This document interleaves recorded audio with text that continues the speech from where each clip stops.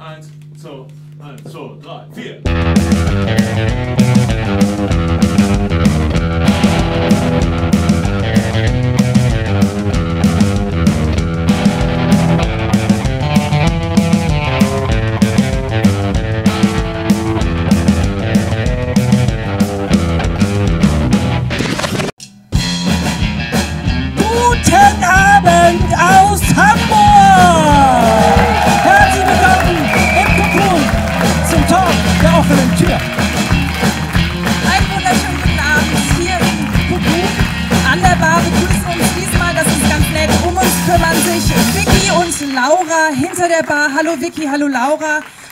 Für uns da seid. Ähm, und ich treffe ja gleich meinen ersten Gast draußen. Da würde ich gerne schon mal Getränke bestellen. Für mich Überraschung ein Cuba Libre und bitte ein Alster.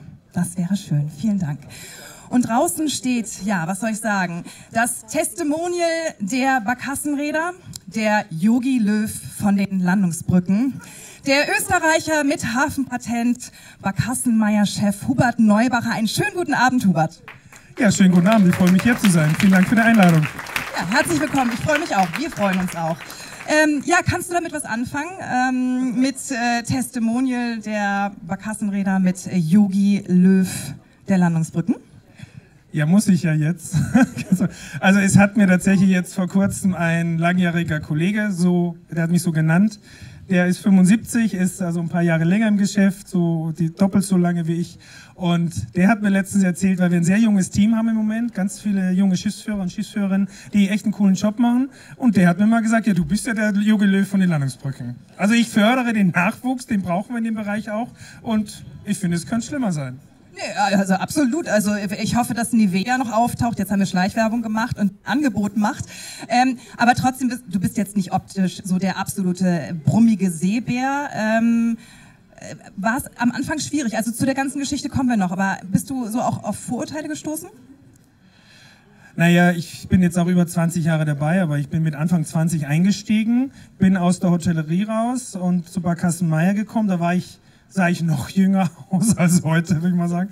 Und es war schon so, dass ich äh, mich da hocharbeiten musste. Ich musste schon viel leisten, damit man da auch eine Anerkennung kriegte. Gerade auch äh, von den äh, Kollegen, die langjährig da waren, auch die alten Schiffsführern, die auch zu hören? Ja, okay. Ähm, nee, ich musste halt ein bisschen fleißig was tun und das hat ja auch funktioniert. Also nicht sofort mit allen per Du, sondern äh, die waren wahrscheinlich ein bisschen kritisch. Was erwartest du denn von deinen Leuten? Eigentlich den gleichen Einsatz wie von mir selber, was ein bisschen hoch ist vielleicht.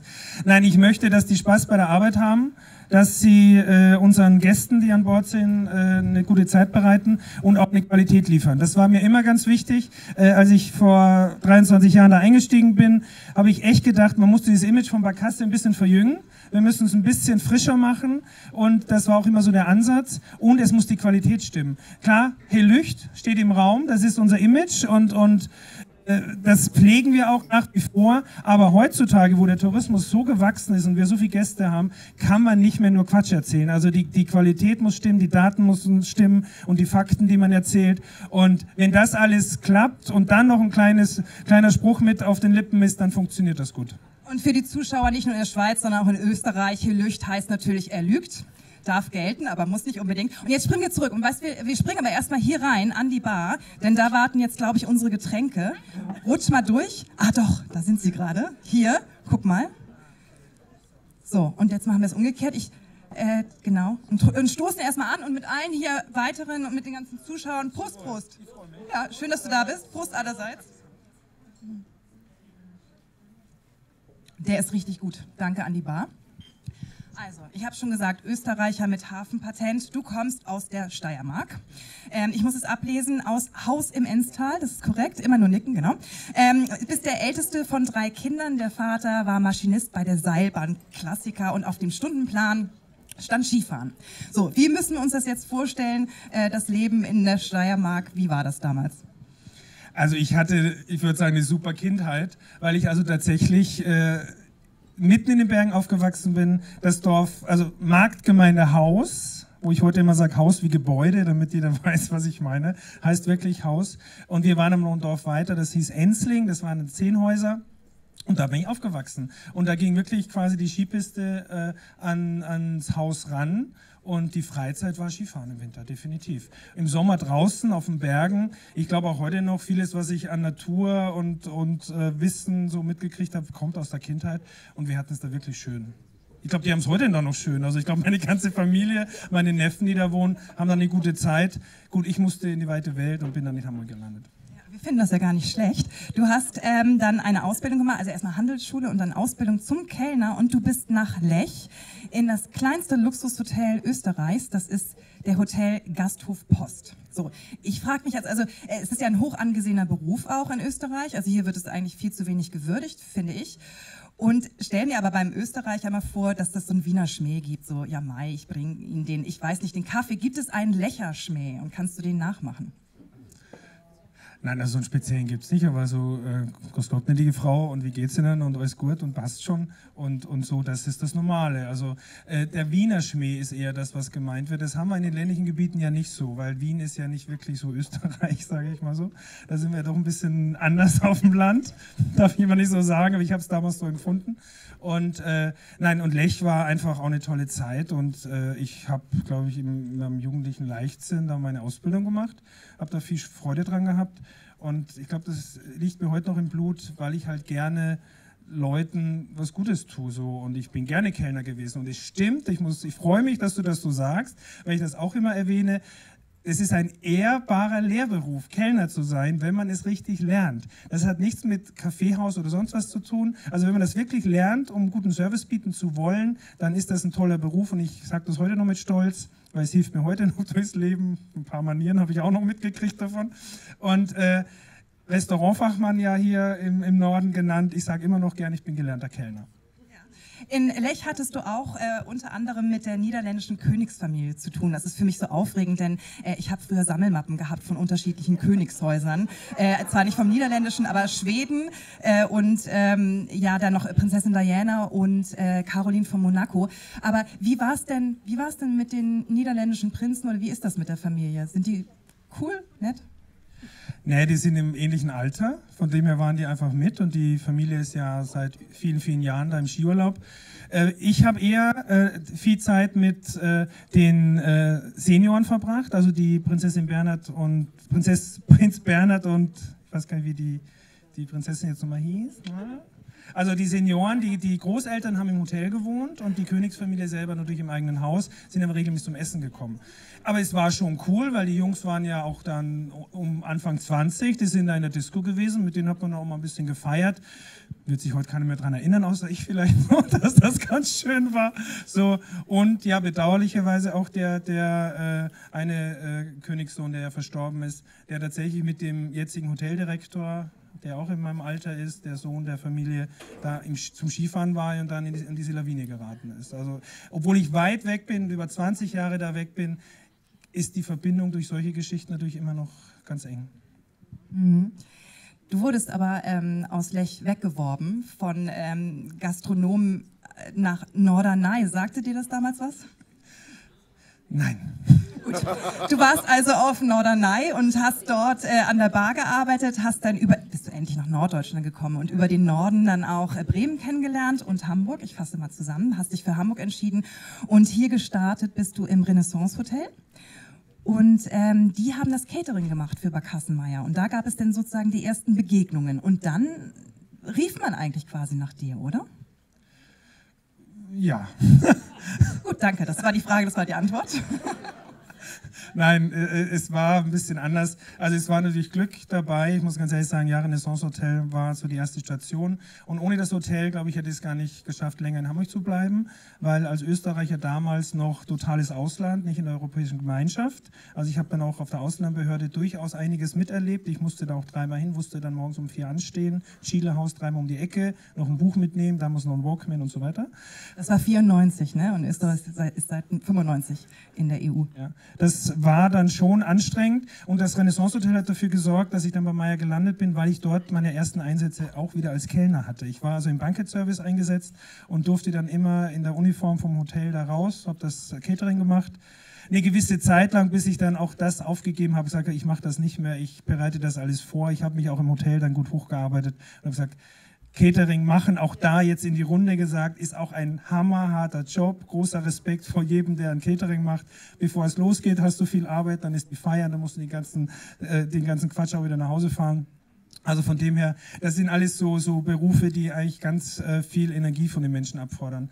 Naja, und dadurch bin ich dann, also nicht mit großem Hallo zu Barkassenmeier. Der Wunsch meiner damaligen Chefin war eigentlich, die Assistenz, äh, die Sekretärin der Veranstaltungsabteilung zu bekommen, weil mit der hatte sie ganz viel zu tun. Du warst zweite Wahl.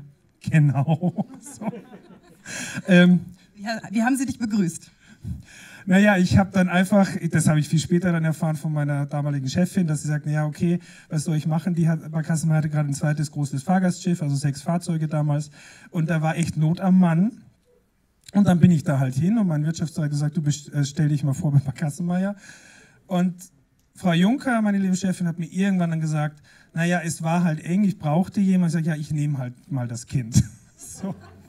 Es war, Wie niedlich. Es war wirklich so. Gut, ich, ich habe äh, mit 21 tatsächlich auch noch ein bisschen sehr jugendlich ausgesehen. Ich ja, also ich glaube, du bist darauf aus, dass ich dir sage, dass du immer noch jung aussiehst. Ne? Du hast es am Balkon schon gesagt. Du siehst fantastisch aus. Und pass auf, äh, du hast dich da nämlich unentbehrlich gemacht äh, bei Barkassenmeier. Und es war schon so eine ganze Zeit lang im Spiel, ja, wird dann erst Assistent und vielleicht irgendwann Geschäftsführer. Und, und eines Tages ja, kam es zu folgender Geschichte, die Peter und ich sehr erstaunt hat.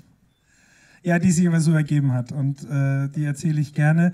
Ähm, wie jeder Hamburger weiß, der Hafengeburtstag ist immer nach dem 8. und 9. Mai, also immer so Mitte Mai. Und ich habe am 16. Geburtstag, das heißt immer eine Woche danach ungefähr. Und als ich so 25 war, habe ich mich ganz gut eingearbeitet und dann kam irgendwann langsam so aufs Tablett, dass meine Chefin meinte, weißt du was, wenn du 30 bist, dann höre ich auf. Sag ich, ja, alles gut, das hat man dann so hingenommen, das ging dann die ganze Zeit so. Und tatsächlich dann äh, kurz vor meinem 30. Geburtstag, am Hafengeburtstag, das Geschäft lief, wie sich jeder vorstellen kann, Freitag bis Samstag, die Hütte ist voll, Sonntagnachmittag, es lässt dann langsam nach, die Auslaufparade läuft, die Flotte ist unterwegs. Ich saß meiner Chefin acht Jahre gegenüber, sagt sie mir dann plötzlich so, so, ist ja alles durch, ich gehe dann jetzt mal. Ich sage, ja, ich habe noch zu tun und Kasse zählen und so weiter und so, ja, schön Feierabend und so. Nimmt ihre Handtasche und sagt, jo, ich gehe dann jetzt, ne?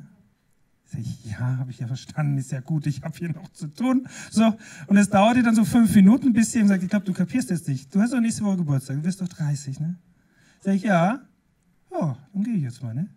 Und dann tickerte das bei mir so. Sag ich, okay, ja, soll ich dann wünsche dir trotzdem schönen Feierabend. Und dann hat Frau Juncker wirklich die Handtasche genommen, ist aus dem Büro rausgegangen und ist seitdem nie wieder dort erschienen.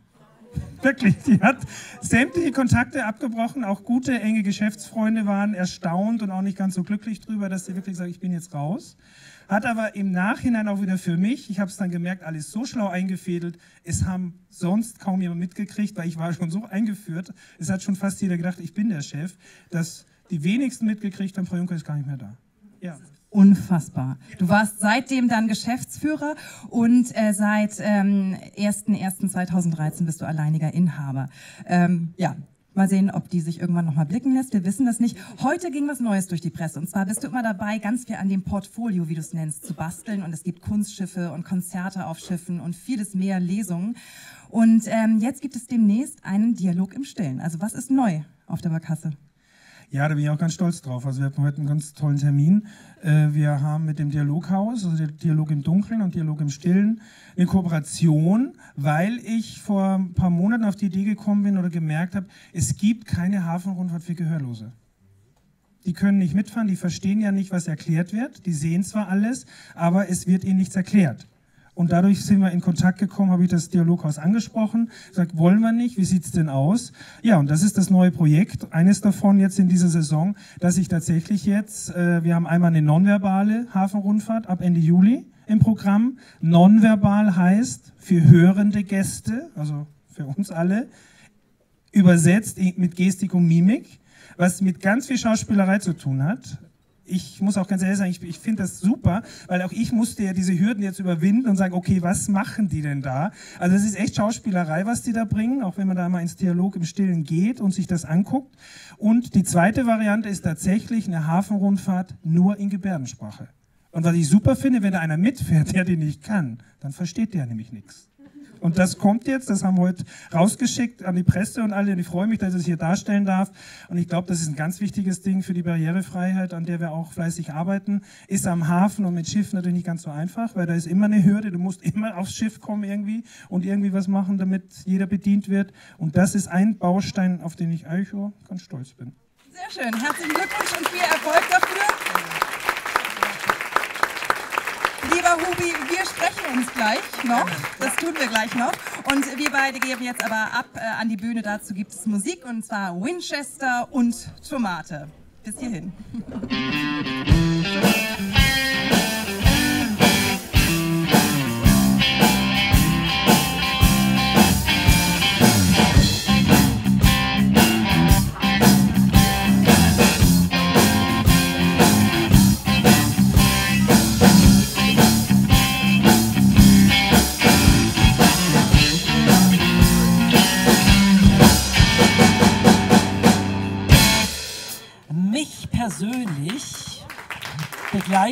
Er seit nunmehr 20 Jahren an ausgesuchten Abenden, vorzugsweise im Mai. Denn er ist die deutsche Stimme beim Eurovision Song Contest in der ARD. Herzlich willkommen bei Talk dort, Peter Urban.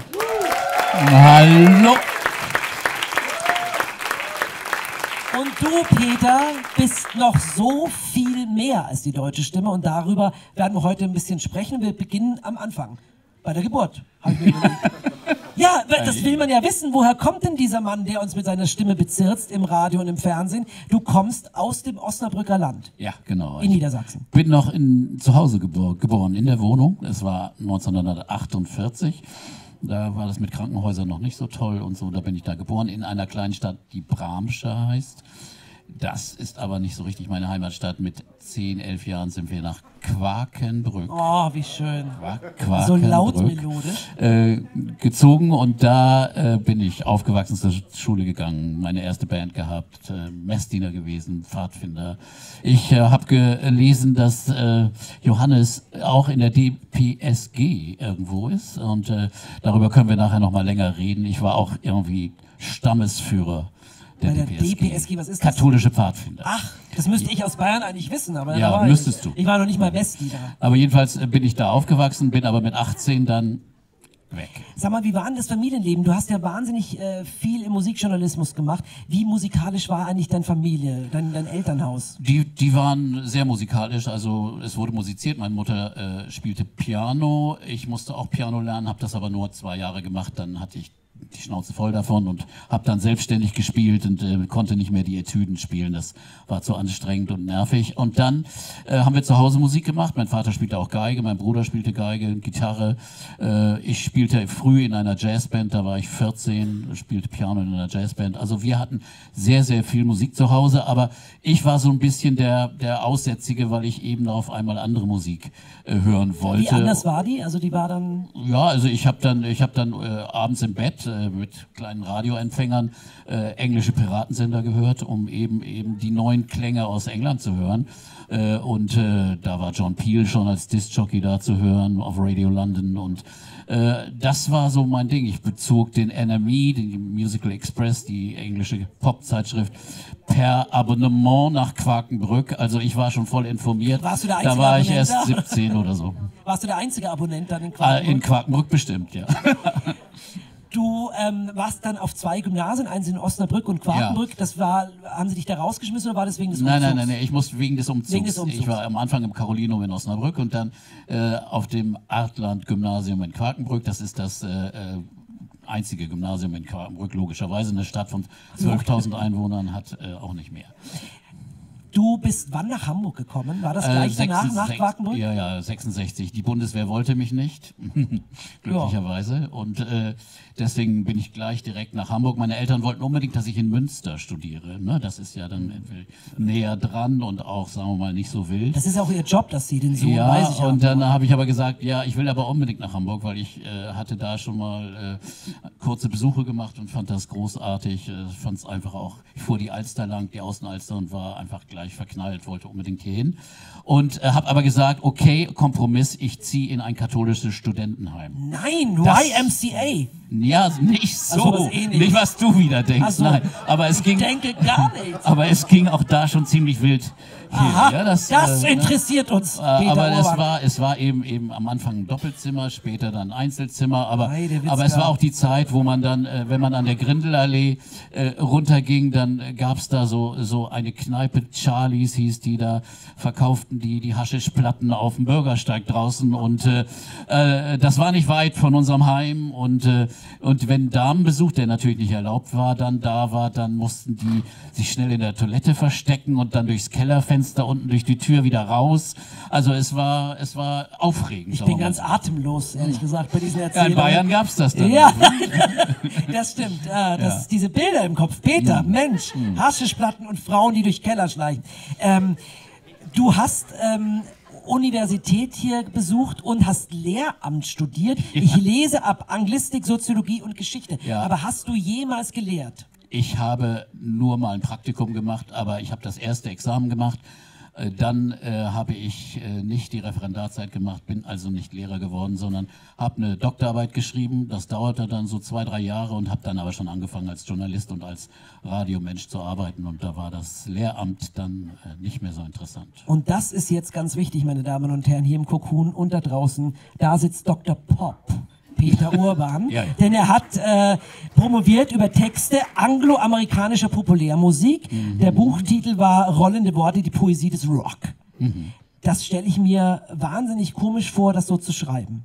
Ja, also es war irgendwie auch ungewöhnlich damals, weil äh, ich schon im, im Hauptseminar Anglistik habe ich schon über so, die gab's Beat Poets, Pop Poets äh, äh, geschrieben. Das kannte mein Professor alles gar nicht. Meine Examensarbeit habe ich über Ray Davis von den Kinks geschrieben, der ganz tolle sozialkritische und auch sehr ironische Texte geschrieben hat. Das kannte mein Professor auch nicht. Aber er ließ mich einfach machen. Und als wir das Examen durch hatten, sagte er, machen Sie doch daraus eine Doktorarbeit. Und dann habe ich das Thema eben einfach sehr verbreitert. Also Popmusik gab es ja auch schon früher, Folkballaden in, im 16., 17. Jahrhundert äh, äh, sind alle überliefert. Die kann man vergleichen mit heutigen Songs, auch mit Blues und Jazz-Songs. Und da gibt es gleiche Themen und da gibt es viele Verwandtschaften.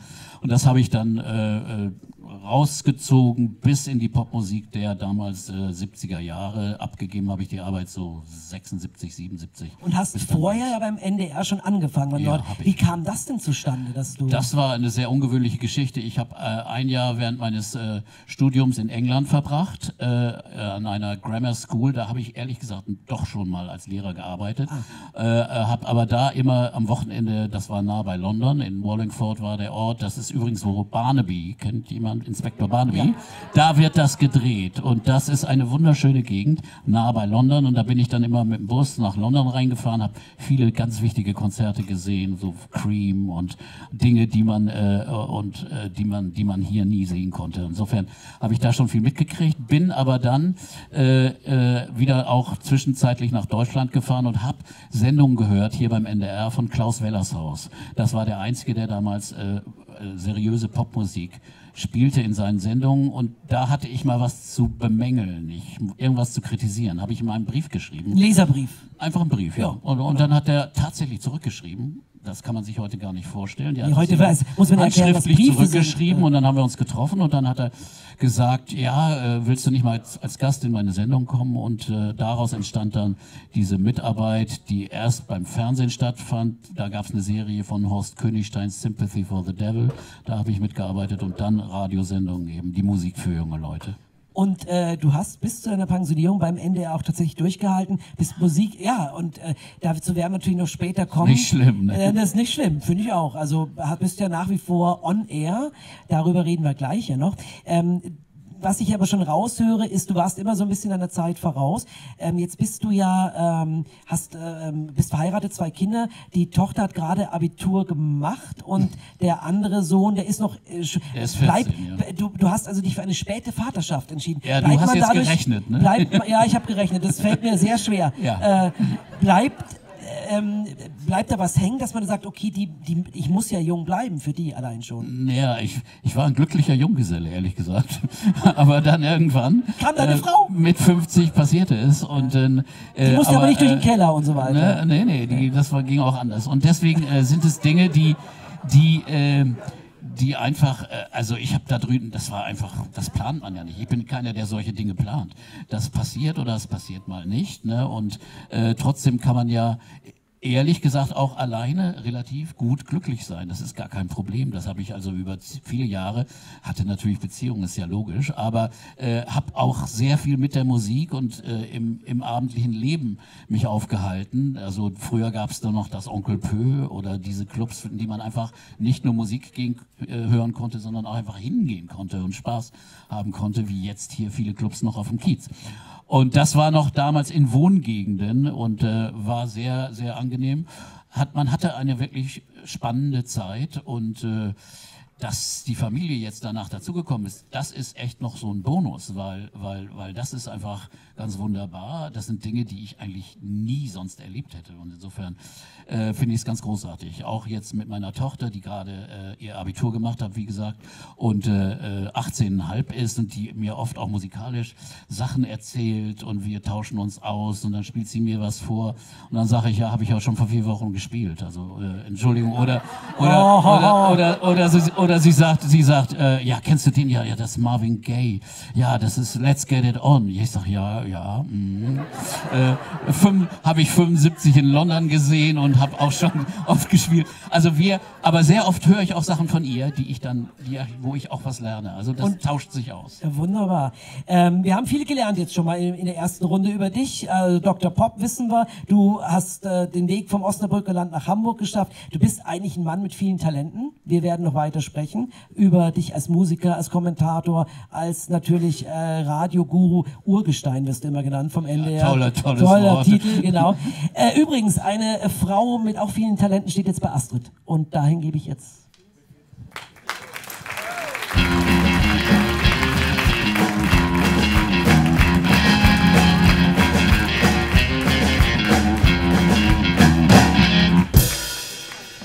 Das sind wir und ich stehe neben der Schauspielerin, Synchronsprecherin und Moderatorin Michaela Schaffrath. Guten Abend, Michaela. Guten Abend, hallo. Herzlich willkommen. Ich habe eben den Österreicher gehabt, jetzt habe ich die rheinische Frohnatur eigentlich. Ähm, schön, ich finde das gut. Österreich total toll findet und auch die Steiermark. Da mache ich sehr gerne Urlaub. Hubi, hast du das gehört? Er ist dort hinten und winkt. Oh, der ist glücklich. Ähm, du bist vor ein paar Jahren nach Hamburg gezogen, ähm, aber war das nicht jetzt äh, schon irgendwie ein Kulturschock? Äh, weht hier nicht eine steife Brise? Hier ist ein bisschen kälter menschlich oder fühlst du dich ja wohl? Nein, absolut. Also ich fühle mich hier wahnsinnig wohl. Ich wollte eigentlich schon immer nach Hamburg. Also ähm, es hat sich halt so ergeben, nach meiner äh, Trennung von meinem Mann war es halt so, dass ähm, ich keinerlei Verpflichtungen hatte, kein Haus, kein Kind, kein Hund, kein gar nichts. Und so konnte ich einfach losziehen und habe nicht lange überlegt und bin, habe mich sofort für Hamburg entschieden. Ich habe ja schon immer wahnsinnig gerne gearbeitet weil für mich ist Hamburg wie Urlaub machen. Und jetzt finde ich das total genial, in dieser Stadt zu wohnen. Manchmal begreife ich das selber nicht, weil es einfach so eine schöne Stadt ist und ich fühle mich hier so wohl. Und ähm, man hat mich auch so mit offenen Armen hier empfangen. Das ist also wirklich äh, rundum toll und nix hier steife Brise und so, gar nicht. Wie schön, da freue ich mich für uns. Das kannst du auch. Danke. Ähm, du hast neue Projekte mitgebracht, über die wir quatschen wollen. Und zwar ist eines, und ich saß 1985 bei der allerersten Folge vorm Fernseher. Das eine ist die Lindenstraße. Du hast jetzt gerade für die Lindenstraße gedreht und das wird im Oktober ausgestrahlt. Wen spielst du und was passiert? Also ich spiele eine Beamtin äh, von der Ausländerbehörde. Ich darf natürlich jetzt noch nicht so viel erzählen, weil äh, wir haben ja eine lange Vorlaufzeit, wie du schon gesagt hast. Oktober wird es ja erst ausgestrahlt. Ähm, aber es ist eine ganz, ganz tolle Rolle und ich freue mich da sehr drauf, weil, wie du auch schon sagst, 1985, also das muss man sich mal auf der Zunge zergehen lassen. Für mich ist die Lindenstraße die Mutter aller Serien.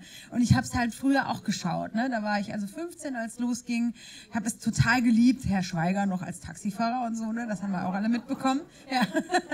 Und ähm, ich finde es einfach eine, eine kultige Serie und jetzt ein Teil dieser Serie auch selber zu sein, das ist wirklich schon ein ganz irres Gefühl. Gefühl. Auch in den heiligen Hallen da unterwegs zu sein. Ne? Es wird ja in Köln gedreht. Und ähm, ja, es ist schon irgendwie ein irres Gefühl, dann da in Mutter Beimers Wohnung auf einmal zu stehen. Das stelle ich mir vor. Unterschreibt ihr richtiggehend Geheimhaltung? Also vertraglich Geheimhaltung über die Inhalte? Ja, auf jeden Fall. Also in den Verträgen steht drin, dass du äh, über die Inhalte nicht so viel erzählen darfst. Also es gab natürlich einen Pressetermin, ist klar.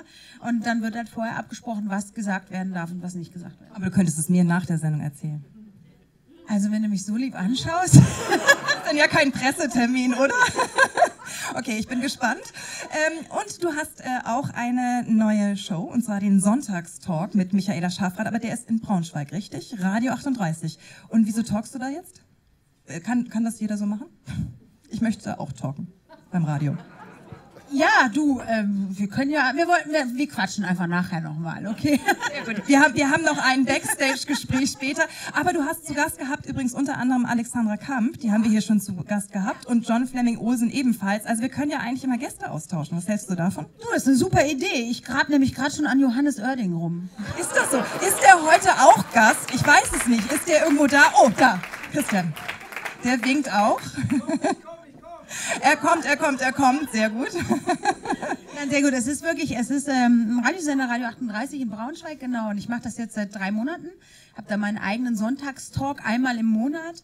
Ähm, wie der Name schon sagt, sonntags von 10 bis 12 und da lade ich halt ganz liebe Gäste ein, die eine Menge zu erzählen haben. Es ist aber ganz entspannt, so ein Frühstücksschnack einfach und äh, bei Kaffee und Brötchen und Müsli und so. Und das ist, äh, es macht wahnsinnig viel Spaß. Also jeder, der mich ein bisschen länger kennt, der weiß, dass ich wahnsinnig gerne schnacke. Als Moderatorin, das weißt du selber, muss man sich da aber ein bisschen zurücknehmen. Ne? Und das, äh, das muss man halt auch erstmal lernen, wenn man, sag mal, 17 Jahre in der Öffentlichkeit steht und eigentlich immer nur Interviews gibt, jetzt aber die Gastgeberin ist, ist das nochmal eine ganz andere äh, Position, die man da hat. Aber es macht super viel Spaß und ich liebe Radio, weil du da auch manchmal, du kannst da auch aussehen wie ein Schlumpf, weißt du, sieht dich ja keiner. Also muss, Man sagt immer, dass, also man sagt immer für Leute, die nur Radio machen, dass sie halt ein Radiogesicht hätten. So, das höre ich immer, weil ich halt bisweilen Nachrichten fürs Radio mache und das höre ich dann immer von meinen bösen, bösen Freunden. Ähm, aber du spielst auch wieder Theater und zwar, das muss ich jetzt selbst einfach mal ablesen. Es äh, gibt im neuen Theater Hannover Gänsehaut, das ist ein Thriller. Und es gibt dann auch wieder die Komödie Tote Augen von London in äh, Braunschweig. Ähm, ja, Krimi, Comedy, Komödie, auch schon Notruf. Äh, was, was liegt dir denn mehr? Welche Art Rollen liegen dir mehr? Ich sag mal so, ich bin ja eine rheinische Frohnatur, wie du schon gesagt hast, und mir liegt natürlich in erster Linie Komödie, weil ich halt sehr lebensbejahender, sehr fröhlicher Mensch bin, sehr positiv eingestellter Mensch bin, dann fällt es mir natürlich leichter, die Zuschauer zum Lachen zu bringen. Und ich lache auch selber wahnsinnig gerne. Ich sage immer, ein Tag, an dem man nicht gelacht hat, ist ein verlorener Tag. Und das ist doch so. Aber ähm, es ist natürlich eine tolle Herausforderung für mich, jetzt mal einen Thriller zu spielen. Also die Gänsehaut ist, nennt sich halt ein Comedy-Thriller, aber so wie Comedy ist da gar nicht dabei. Also es ist schon relativ schräg, das ganze Stück, was dann ab September in Hannover gespielt wird. Und das finde ich natürlich eine tolle Herausforderung, weil ich da halt eine Frau spiele, die gerade aus der Klinik kommt, also aus der psychiatrischen Anstalt kommt und von ihrem Mann und äh, dessen ähm, Halbschwester halt äh, schon wieder so dermaßen getriezt wird, so dass sie halt in die alten Muster wieder zurückfällt. Und das ist natürlich eine sehr angespannte Rolle, weil man halt wirklich zwei Stunden sehr ja angespannt ist und man hat halt so, ich habe mir halt bei diversen Kollegen und Schauspielern, also Filmen und so angeguckt, wie wie Leute sich verhalten, die halt irgendwie so einen Knacks haben. Und ich merke dann schon immer nach dem, also nach den zwei Stunden muss ich erstmal ein bisschen runterkommen. Ne? Und Wollte ich gerade fragen, bleibt der Knacks ein bisschen? Also wie lange bleibt der? Wie lange fühlst du dich komisch? Oder? Also mein, mein äh, Lebensgefährte Carlos hat äh, nach der Premiere gesagt, mein Gott, bin ich froh, dass du so nicht im wahren Leben bist. Es hat ihn ein bisschen Angst gemacht. Aber ähm, ja, gib mir eine Stunde. Eine Stunde und ein Gläschen Rotwein, dann geht das wieder. Alles klar. Du, wenn man in dein äh, Casting-Profil schaut, dann steht da äh, auch Sportschützin und Rennlizenz. Stimmt das? Hast du eine Rennlizenz? ja, ich habe eine Rennlizenz gemacht auf dem Nürburgring. Wie cool ist das denn? Ja, fand ich auch total cool. Also ich meine, ähm, ich bin ja dafür bekannt, ziemlich bekloppte Sachen zu machen und äh, unter anderem auch äh, eine Rennlizenz auf dem Nürburgring. Das wurde mir damals angeboten von Zackspeed. Und äh, da habe ich dann ein Wochenende lang eine, äh, eine theoretische Prüfung gemacht und bin dann danach auch äh, schön mit dem ähm, Formel 3000 mal über Nürburgring gefahren. Und das war echt irre. Und ich finde, jeder sollte mal ein Fahrradtraining machen. Gut, es muss jetzt nicht unbedingt die, die Fahrradtraining. Ja, nicht unbedingt die Lizenz für, für also für, für ein Rennen sein, aber so, äh, es gibt ja ADAC und keine Ahnung, was die solche Fahrradtrainings anbieten. So lernt man dann doch äh, auch in schwierigen Situationen mit seinem Auto besser umzugehen. Also ich finde, ich finde äh, Rennrad, das finde ich stark. Und pass auf, was, was Rennrad hast du gerade. Ah ja, ja, Rennrad finde ich auch cool. Ach so, nee, was hast du gesagt? Ein Rennwagen. Ach, Ja, also ich dachte, du fährst Rennrad jetzt. Also, nee, aber das will ich irgendwann auch starten. Also bisher jogge ich nur und das auch echt unregelmäßig. Aber weißt du, was, äh, was äh, dort noch steht? Und zwar das Boxen. Und äh, das geht zurück auf äh, 2002 Promi-Boxen mit Doro Pesch. Und Regina Halmich hat dich trainiert. Wie war das? Also das stimmt. Äh, ich habe gegen Doro geboxt. Die ist ja kurzfristig eingesprungen. Wir hatten, also sie hatte nur noch ein paar Wochen Zeit, um sich vorzubereiten. Ich glaube drei oder zwei sogar. Weil eigentlich sollte ich ja gegen Samantha Fox boxen. Ja, die hat sich aber komischerweise, ganz seltsam, äh, kurz vorher beim äh, Training den Knöchel verstaucht. Und somit musste jemand einspringen und dann ist Doro halt eingesprungen, die aber natürlich Kickbox-Erfahrung hat, also die war nicht ganz untrainiert, was ich auch gespürt habe, ehrlich gesagt. Also als sie dann wie eine Furie da auf mich zukam, da dachte ich, holla die Waldfee, die meint ja ernst. Also die, die meint es echt ernst. Ja, Regina Heimich hat mich trainiert, sechs Wochen. Das waren die härtesten sechs Wochen meines Lebens, weil mein Leben bestand zu dem Zeitpunkt nur aus Essen, Trinken, Trainieren und Schlafen. Und das also nicht Alkohol trinken, sondern nur Wasser trinken. Ne? Und die war so wahnsinnig streng. Damals habe ich sie echt verflucht, also heute liebe ich sie dafür, weil ich habe dann auch glücklicherweise gewonnen, den Kampf, aber es war sehr, sehr hart. Ich habe da wahnsinnigen Respekt vor dem Boxsport, weil das sieht immer so easy aus, ne? die kloppen sich ein bisschen so auf die Birne, aber das ist schon äh, heftig. Ja, man, man hört davon, dass es anstrengend sei. Aber dann musst du ja eigentlich relativ fit sein. Wäre Let's Dance was für dich? Finde ich super, würde ich super gerne machen. Lie liebes RTL-Team, hier ist eure neue Let's Dance-Tänzerin Michaela Schaffrath. Super, auch bei RTL, das müssen, das müssen wir natürlich erwähnen. Und an der Stelle möchte ich auch nochmal sagen, denn wir hatten zwei Dschungelcamp-Teilnehmer bereits hier, ähm, Fräulein Menke und Gunther Gabriel, den ich hier in den Himmel grüße und sagen möchte, wir denken an dich. Das möchte ich unbedingt loswerden. Und ähm, beide haben uns unterschiedliches erzählt. Gunther hat uns erzählt, es ist saugefährlich. Fräulein Menke, naja, ist ein bisschen australischer Misch Mischwald. So. Äh, wie hast du das empfunden? Ist es gefährlich? ich fand es jetzt nicht so gefährlich. Also ich bin natürlich auch von Natur aus ähm, Camperin. Also ich liebe es sowieso, äh, im, im Freien zu schlafen und zu campen und unter etwas widrigeren Umständen ja, seinen Urlaub zu verbringen. Deswegen war es für mich jetzt nicht so schlimm. Ich fand den Dschungel super. Ich fand das toll, unter freiem Himmel zu schlafen. Ich habe noch nie in meinem Leben so viele Sterne gesehen wie in Australien. Und diese Bäume, die sind riesig. Also dagegen ist das hier wirklich Pill Pillepalle, ja. Also da sind riesige Bäume und alles grün und die Tiere sind alle irgendwie viel größer und ähm, ja, es ist, es ist einfach sehr beeindruckend und es hat mir keine Angst gemacht. Also, und außerdem muss man fairerweise sagen, das Camp ist wirklich bewacht. Also das, da stehen überall diese Ranger rum und die sagen, stopp bis hierhin und nicht weiter. Und ich denke, innerhalb des Camps darf sich RTL das gar nicht erlauben, dass da irgendjemandem was passiert, dass wirklich was Schlimmes passiert, dass da mal ein paar Ratten und Spinnen und Schlangen, naja, okay. Kann halt vor Hast du dich vorbereitet? ja, ich habe mich vorbereitet und zwar bin ich äh, zu einer Tierfilmfarm gegangen vorher und äh, habe das alles im Vorfeld schon ausprobiert, weil ich eine tierische Schlangenphobie habe. Und ich habe mich dann einfach mal mit Schlangen auseinandergesetzt, habe mir eine Vogelspinne auf die Hand setzen lassen, habe Mehlwürmer gegessen im rohen Zustand, im gebratenen Zustand. Alles vorm Camp noch. Und Kakerlaken und das war auch ganz wichtig, also weil ähm, ich da in die, ich, eine Prüfung war halt dieses Bad in diesem Glassack mit diesen 80.000 Kakerlaken, aber die stinken halt ein bisschen, aber ansonsten sind die total ungefährlich. Alles klar. Gut. Ähm, würdest du sagen, es war jetzt äh, abschließend eher positiv, dort gewesen zu sein? Auf jeden Fall eine gute Erfahrung, so klingt's. Für mich war es eine irre Erfahrung und ich bin heute froh, dass ich dabei sein konnte. Und ähm, man weiß natürlich, dass die Fallhöhe sehr hoch ist beim Dschungel, das ist klar. Also ich glaube, viele waren sich dessen auch nicht bewusst und ähm, man sieht ja auch dann, was danach so mit denen so passiert ist.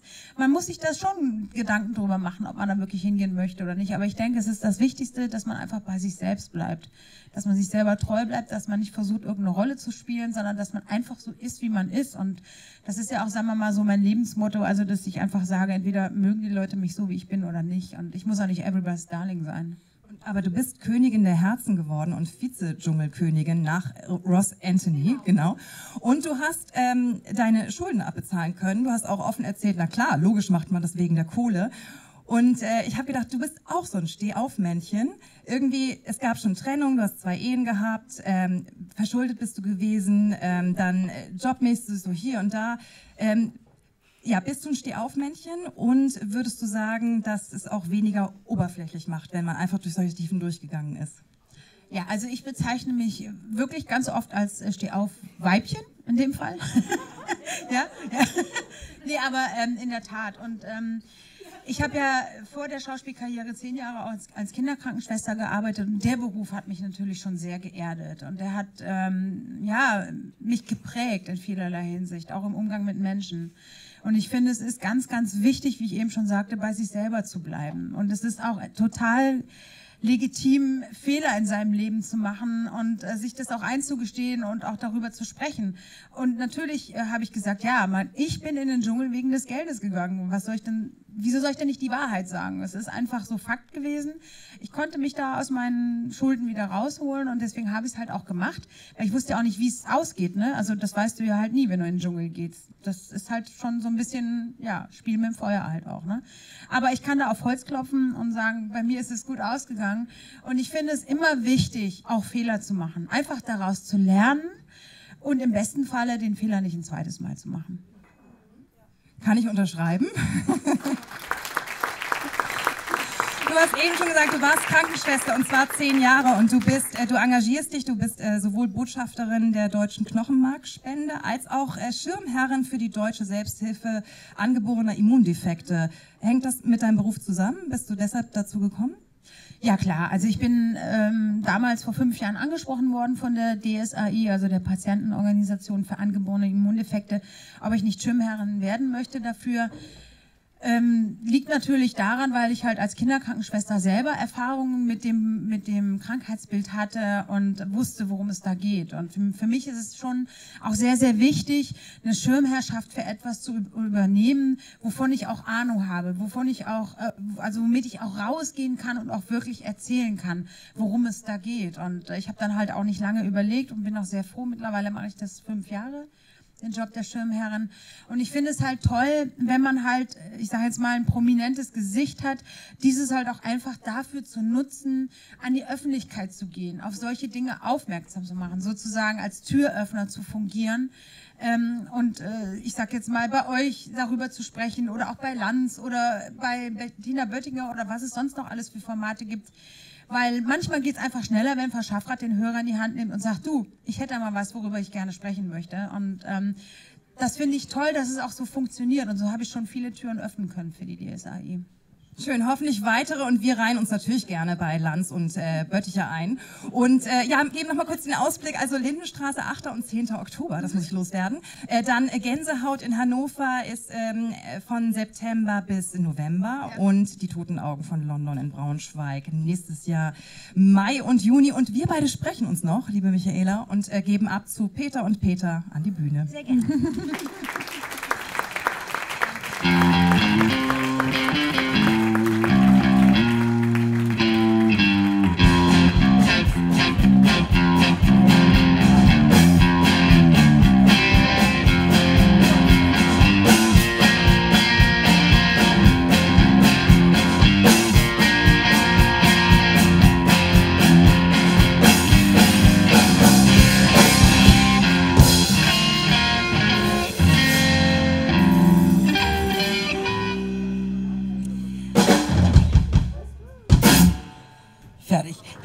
ist bei mir, meine sehr verehrten Damen und Herren, hier beim Talk der offenen Türen. Und äh, die meisten kennen ihn eigentlich nur vom Hören. Das kann man, da erreichst du wirklich die, die meisten Millionen Zuschauerinnen und Zuschauer als die deutsche Stimme beim Eurovision Song Contest in der ARD. Ähm, das findet seit 1997 statt mit dir. Da hast du angefangen. Das war dein erster ESC in Irland. Machst das also jetzt 20 Jahre. Und ich habe mal nochmal geguckt. Vorher hieß es noch Grand Prix Eurovision de la Chanson. Ne? Ja, hieß es da vielleicht noch? Ich weiß es nicht. Ja, ich glaube, dann kam irgendwann der Switch zum Eurovision. Also, du warst in deiner ESC-Karriere in 15 Ländern, in 17 Austragungsorten, hast einen deutschen Sieg mitbekommen, Lena Satellite 2010 Oslo. Äh, dreimal letzter Platz, 2005, 2015, 2016, dieses Jahr vorletzter Platz. So, das sind erstmal die Zahlen von Peter Urban. Wo warst denn am schönsten in diesen 20 Jahren? Also, wenn du so zurückdenkst. Interessant äh, war es in, in Jerusalem, 99. Das war wirklich sehr, sehr interessant. Weil? Weil es so eine total andere Welt ist. Ich meine, da kommt man eigentlich auch sonst nicht sofort mal hin. Äh, und deswegen, äh, damals gab es auch noch genug Zeit, um auch die Dinge sich anzuschauen, weil da gab es noch keine Semifinals und so weiter, nur eine Sendung. Äh, das war äh, eine sehr, sehr schöne Erfahrung. Und äh, sonst, äh, Stockholm ist immer gut, ist eine sehr, sehr schöne Stadt. Aber ehrlich gesagt, äh, freue ich mich sehr, dass es im nächsten Jahr mal in eine südliche Stadt geht, nicht nach Osteuropa, nicht nach Nordeuropa. Also Nach Wien, Lissabon soll Lissabon. werden, ne? Wien war zum Beispiel auch sehr, sehr interessant, sehr, sehr schön. Auch ein kleiner, überschaubarer Rahmen. Weißt du, diese, diese ähm, Veranstaltungen, die immer in riesigen Fußballstadien stattfinden, die sind nicht so, nicht so spannend. Da sieht man wenig und die Atmosphäre ist unruhig und so in, in Kopenhagen damals zum Beispiel war das sehr seltsam. Äh, 2001. Aber jedenfalls, jedenfalls ist das sehr schön gewesen in Wien und in Lissabon hoffentlich auch. Gibt es denn ähm, 20 Jahre so eine Sache, wo du sagst, das war am best organisierten von deiner Seite, jetzt mal nur für deinen Job, den du da machst? Ja, da gibt es verschiedene. Äh, äh, da gibt es zum Beispiel im letzten Jahr, Stockholm war ganz großartig. Das ist eine, eine runde Halle, die Der Glo- Globen? Glo- der Globen. Und äh, da konnte man, kannst du mit dem Fahrstuhl hochfahren und, und, und wanderst da rum. Es gab andere Gelegenheiten, da musst du Baustellentreppen hochklettern, irgendwie in den dritten, vierten Stock. Das war Kopenhagen, ja, Und ja, Kopenhagen, das war so äh, ziemlich gruselig. Oder auch selbst in Düsseldorf, das war auch ein organisatorisch sehr interessanter, aber in einem Fußball, Fußballstadion stattfindender äh, ESC, äh, wo man ewige Wege äh, rumlaufen musste und hochklettern musste. Also einige ältere Kollegen, da gab damals gab es noch ältere als mich, äh, die die hatten ehrlich eine, eine schwierige Zeit und ich war auch gerade äh, frisch von einer Operation. Ich habe so acht Hüftoperationen hinter mir, deswegen dieses ganze Theater. Äh, ich durfte ein einen kleinen Elektroroller benutzen. Bin dann durch die Gänge des Stadions immer gefahren und äh, vom Pressezentrum dahin und so. Aber den letzten, den, die letzte, das letzte Stück musste ich auch hochklettern und das war echt ein bisschen nervig. Insofern, es gibt organisatorisch äh, schöne Dinge für unseren Job und ein bisschen anstrengend. Die Frage liegt natürlich auf der Hand in diesen 20 Jahren, wo war es am, sagen wir mal, chaotischsten für dich? Oder wo du sagst, äh, Ach, das ist, ist schwer zu sagen. Also es ist immer vom Prinzip her gleich. Es ist immer die gleiche Art äh, äh, Organisation. Also es wird ja von der EBU durchgeführt mit örtlichen Varianten und da gibt's manchmal äh, äh, äh, Sachen, wo man improvisieren muss. Damals im Baltikum, also in Lettland und in Estland. Das war aber trotzdem toll, weil die Leute unheimlich engagiert waren. Also es war nie irgendwie katastrophal. Also es war immer, es war immer akzeptabel und angenehm. Also ich würde nie sagen, dass es irgendwie anstrengend war. Selbst, also jetzt Kiew war ganz großartig. Also das war zum Beispiel auch von der Organisation her gut und in einem Land, das wirklich schwere Probleme hat, das also sehr leidet unter dem russischen Druck, unter der, unter der Feindschaft, die Russland ständig irgendwie ausübt, auch dem Land gegenüber, war das echt ein, ein, ein wirklich ein toller ESC. der EBU, die eben den Eurovision Song Contest organisiert, die sagt ja immer, der Contest ist total unpolitisch. Dass er eben nicht unpolitisch ist, hat man ja dieses Jahr gesehen. Äh, in Kiew fand das statt. Äh, die Russen haben eine Sängerin nominiert, die vorher in der, auf der Krim gesungen hat, aber über das russisch besetzte Gebiet eingereist ist und nicht über das ukrainisch ähm, nicht besetzte, sondern über die Ukraine. Ähm, deswegen durfte dann die Russin nicht singen. Jetzt äh, kam, glaube ich, letzte Woche raus, Russland wird dafür gerügt, also und darf ganz normal mitmachen. Und Ukraine muss ganz schön viel Kohle dafür zahlen, dass sie eben die Russin hat nicht einreisen lassen. Also dieses Unpolitische beim ESC, das Ja, ist es, von gestern. das, ne? das also, ist natürlich nie unpolitisch. Besonders wenn man, wenn man zulässt, dass ein Lied, das über die russische Aggression 1944, also unter, unter Stalin, die Vertreibung der Krim-Tataren, wenn man so ein Lied gewinnen lässt. Das war eben der Fall. Äh, Im Jahr davor mit im Jahr Jamala, davor mit genau. Jamala. Äh, war ein großartiges Song, ein toll eindrucksvoller Auftritt. Aber da muss man sich schon nicht wundern, wenn dann nachher es Probleme gibt, wenn es gerade auch eine Art sehr, sehr harten Konflikt zwischen Russland und der Ukraine gibt. Und natürlich, das Ganze, äh, das habe ich dann auch begriffen, war auch natürlich von den Russen bewusst gemacht. Die haben natürlich diese Sängerin nominiert, wo sie wussten, die wird wahrscheinlich gar nicht da auftreten können. Dann gibt es einen Skandal und so weiter und so fort. Also so ganz unschuldig waren die auch nicht. Und am Anfang habe ich gedacht, oh, die Ukrainer sollten sich doch nicht so anstellen. Aber nachdem ich mit den Leuten da geredet habe, gemerkt habe, wie im Alltagsleben und wie hart es wirklich ist, diesen ständigen Druck auszuhalten und den, die wirklich, die wollen nur im Frieden leben und, und sind so genervt von dieser russischen äh, äh, Situation. Da habe ich dann auch verstanden, warum sie gesagt haben, nein, die tritt hier nicht auf.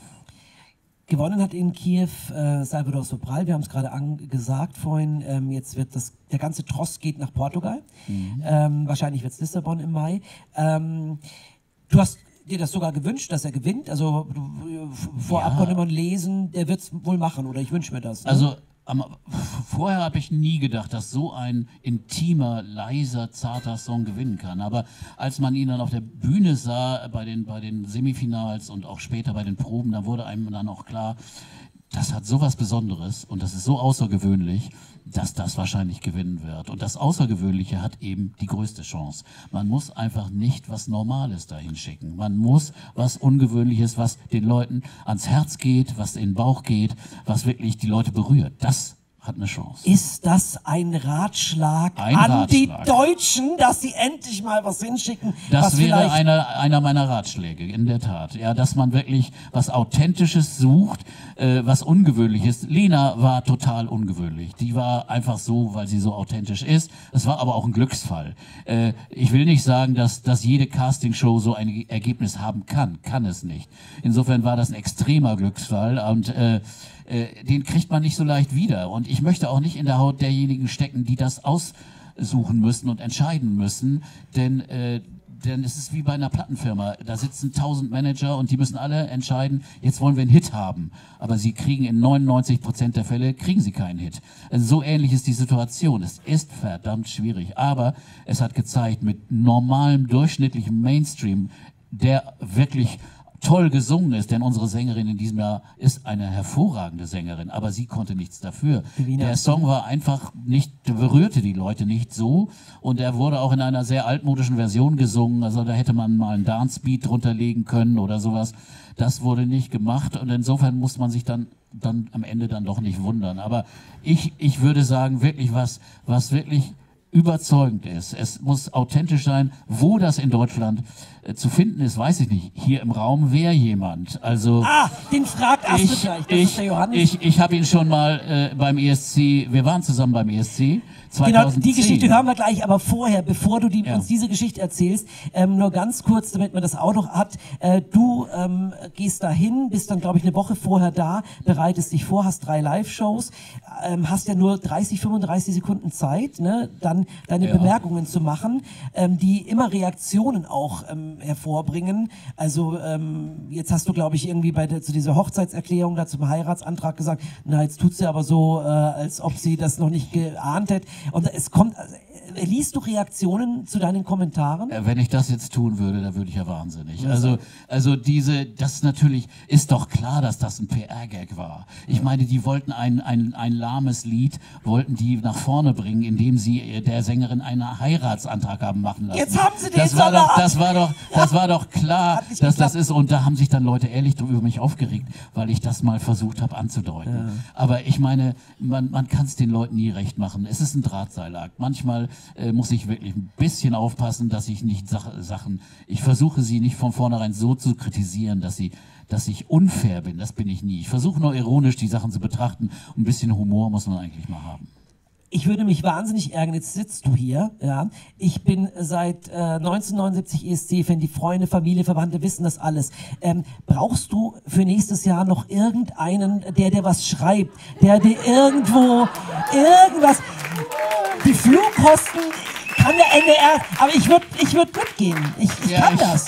Ich glaub's dir. Ich habe einen, ich habe einen super Assistenten, aber ich schreibe, ich schreibe alles selbst, du.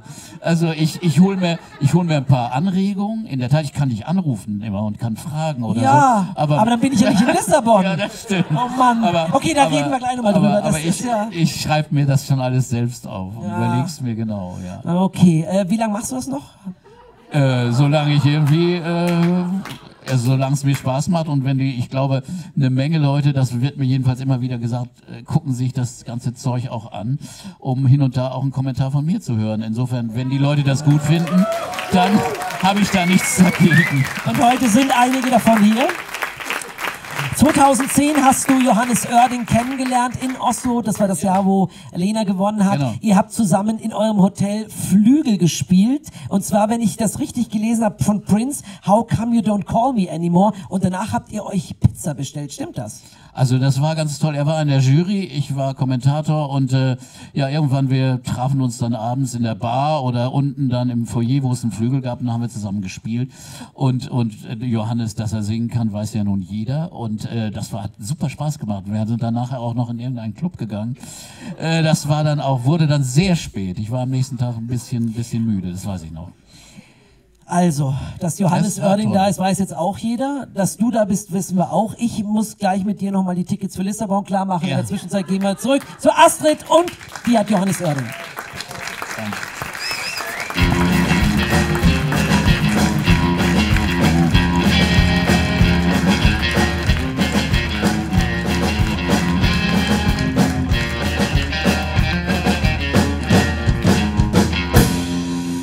Sind wir. Ich stehe neben dem Sänger und Songwriter, Musiker Johannes Oerding. Guten Abend, Johannes. Wunderschönen guten Abend. Ich muss gleich äh, sofort einhaken. An diese Geschichte mit dem Club kann ich mich nicht mehr erinnern, Peter. Der, da war ich, glaube ich, noch nicht, nicht mehr dabei. Ich wollte nämlich gerade fragen, kannst du das alles so bestätigen und gibt es noch was zu ergänzen? Also, dass der Peter gut Klavier spielen kann, äh, das kann ich auf jeden Fall bestätigen. Und dass das wirklich ein sehr, sehr besonderer Moment war. Also 2010, nicht nur, dass Lena damals gewonnen hat und wir beide in Oslo waren, dass wir wirklich die Pizza auf diesem teuren äh, Steinway-Flügel im besten Hotel in Oslo gelegt haben und versaut haben. Das hat er nicht erzählt, aber äh, wir haben auf jeden Fall sehr viel Spaß gehabt. Was war auf der Pizza? Wir hatten alles Mögliche. Meistens Fisch, weil das war ja Oslo. Alles klar. Ähm, wie war das für dich? Du warst damals noch nicht bekannt, noch, nicht, noch lange nicht so bekannt wie jetzt. Äh, und äh, trotzdem hast du in der Jury gesessen. Ist das, ist das dein Posten? Ist das gut? Nee, ich habe mich selber gewundert, dass äh, wir- ich habe auch gerade noch mit Peter äh, vorab drüber gesprochen, warum ich eigentlich dabei war. Ich weiß bis heute nicht, warum ich gefragt wurde. Ich glaube, das war wirklich, dass es ein, zwei Leute beim NDR gab, die sagten, ach, hier gibt's jemanden in Hamburg, der kann singen, vielleicht kann der mitmachen, wir brauchen noch einen. Und ähm, dann bin ich da eingesprungen. Für mich war das natürlich äh, Hollywood-reife Erfahrung, wirklich dann da in der Jury zu sitzen mit Harpe Kerkeling, äh, mit äh, Mary Rose und noch äh, anderen Prominenten und ich saß dann dabei, der Junge, der kleine Junge vom Dorf und durfte dann entscheiden, ob äh, ja Ukraine weiterkommt oder nicht. Und das war, ja, das hat mir schon Spaß gemacht, muss ich sagen. Okay, also lieber NDR, da ist auch nochmal Interesse, den könnt ihr nochmal einspannen, glaube ich. Du hast 2000... Wer schimpft da? Ist das Peter Urban? Ja, da bin ich noch gar nicht. Herrgott, nun lasst mich doch mal in Ruhe meine Fragen stellen. Ich wollte nämlich die Kurve nehmen über 2013, den Bundesvision Song Contest. Und ja, jetzt wollte ich tatsächlich fragen, stehst du nächsten Mai 2018 zur Verfügung? Ich glaube nicht, denn ähm, ich habe, was ich auch damals gemerkt habe bei all dem Spaß, den wir da hatten, dass äh, dieser ESC und diese ganze Eurovision Zirkus ja eben ein sehr, sehr großer Zirkus ist, der also seine eigenen Gesetze hat und eben auch für ganz besondere Künstler auch oder Gestalten geschaffen wurde. Und ich ehrlich gesagt sehe mich da äh, nicht in dieser, in dieser Runde. Deshalb, äh, ich sage niemals nie, aber ich glaube, das ist noch sehr, sehr weit entfernt. Alle dürfen mal Oh sagen. Aber ähm, auch applaudieren. Hier applaudiert noch jemand. Ähm, deine Karriere hat sich sehr kontinuierlich aufgebaut. Und zwar hast du den ersten Produzenten gehabt mit 17 Jahren. Das ist jetzt Sieht man auch nicht. Äh, aber echt schon ein bisschen her, 18 Jahre, wenn ich richtig gerechnet habe. Äh, und naja, so richtig bekannt, ich würde jetzt so gefühlt drei, vier Jahre sagen, dass du so richtig durch die Decke gegangen bist. Also eine, riesen Zeitspanne. Ähm, ist das gut, das so langsam aufzubauen? Und ist das auch gerade, weil du solche Sachen jetzt nicht unbedingt machen würdest wie ESC und ich nehme mal an äh, DSDS? Also so in der Nachbetrachtung würde ich natürlich sagen, das war eine gute Entscheidung, weil alles sehr, sehr gesund, sehr stetig in Ruhe gewachsen ist. Aber man kann sich vorstellen, als ich mit 17 meinen ersten Künstlervertrag hatte in Lüneburg äh, bei Produzenten, die sehr, sehr viele große Stars äh, rausgebracht haben, dann dachte ich, jetzt geht's los. Jetzt ist es Hollywood und jetzt äh, muss es aber auch losgehen. Und dass es dann eben noch so, so lange gedauert hat, äh, wollte ich damals nicht akzeptieren, war sehr ungeduldig und habe immer äh, versucht, auch Gas zu geben. Aber ich hatte Gott sei Dank Leute, die gesagt haben, mach ein bisschen, mach ein bisschen ruhiger, weil deine Zeit kommt irgendwann. Und jetzt sage ich natürlich heutzutage, ähm, ich habe sehr, sehr viel richtig gemacht. Und weil du sagst, ähm, gewisse Dinge auch eben ablehnen. Ich glaube, ich habe da gerade noch mit jemandem an der Bar hier gesprochen und ähm, auf die Frage, was macht ein Künstler aus oder ein Profil von einem Künstler aus, ich glaube, es sind nicht die Dinge, die man am Ende des Tages äh, macht oder zu denen man Ja sagt. Ich glaube, es sind eher die Dinge, äh, wo man Nein sagt. Also die man, wo man sagt, ich möchte das nicht, ich habe ein schlechtes Bauchgefühl, das steht mir nicht und das ist nicht meine Art und Weise, wie ich äh, Musik machen möchte.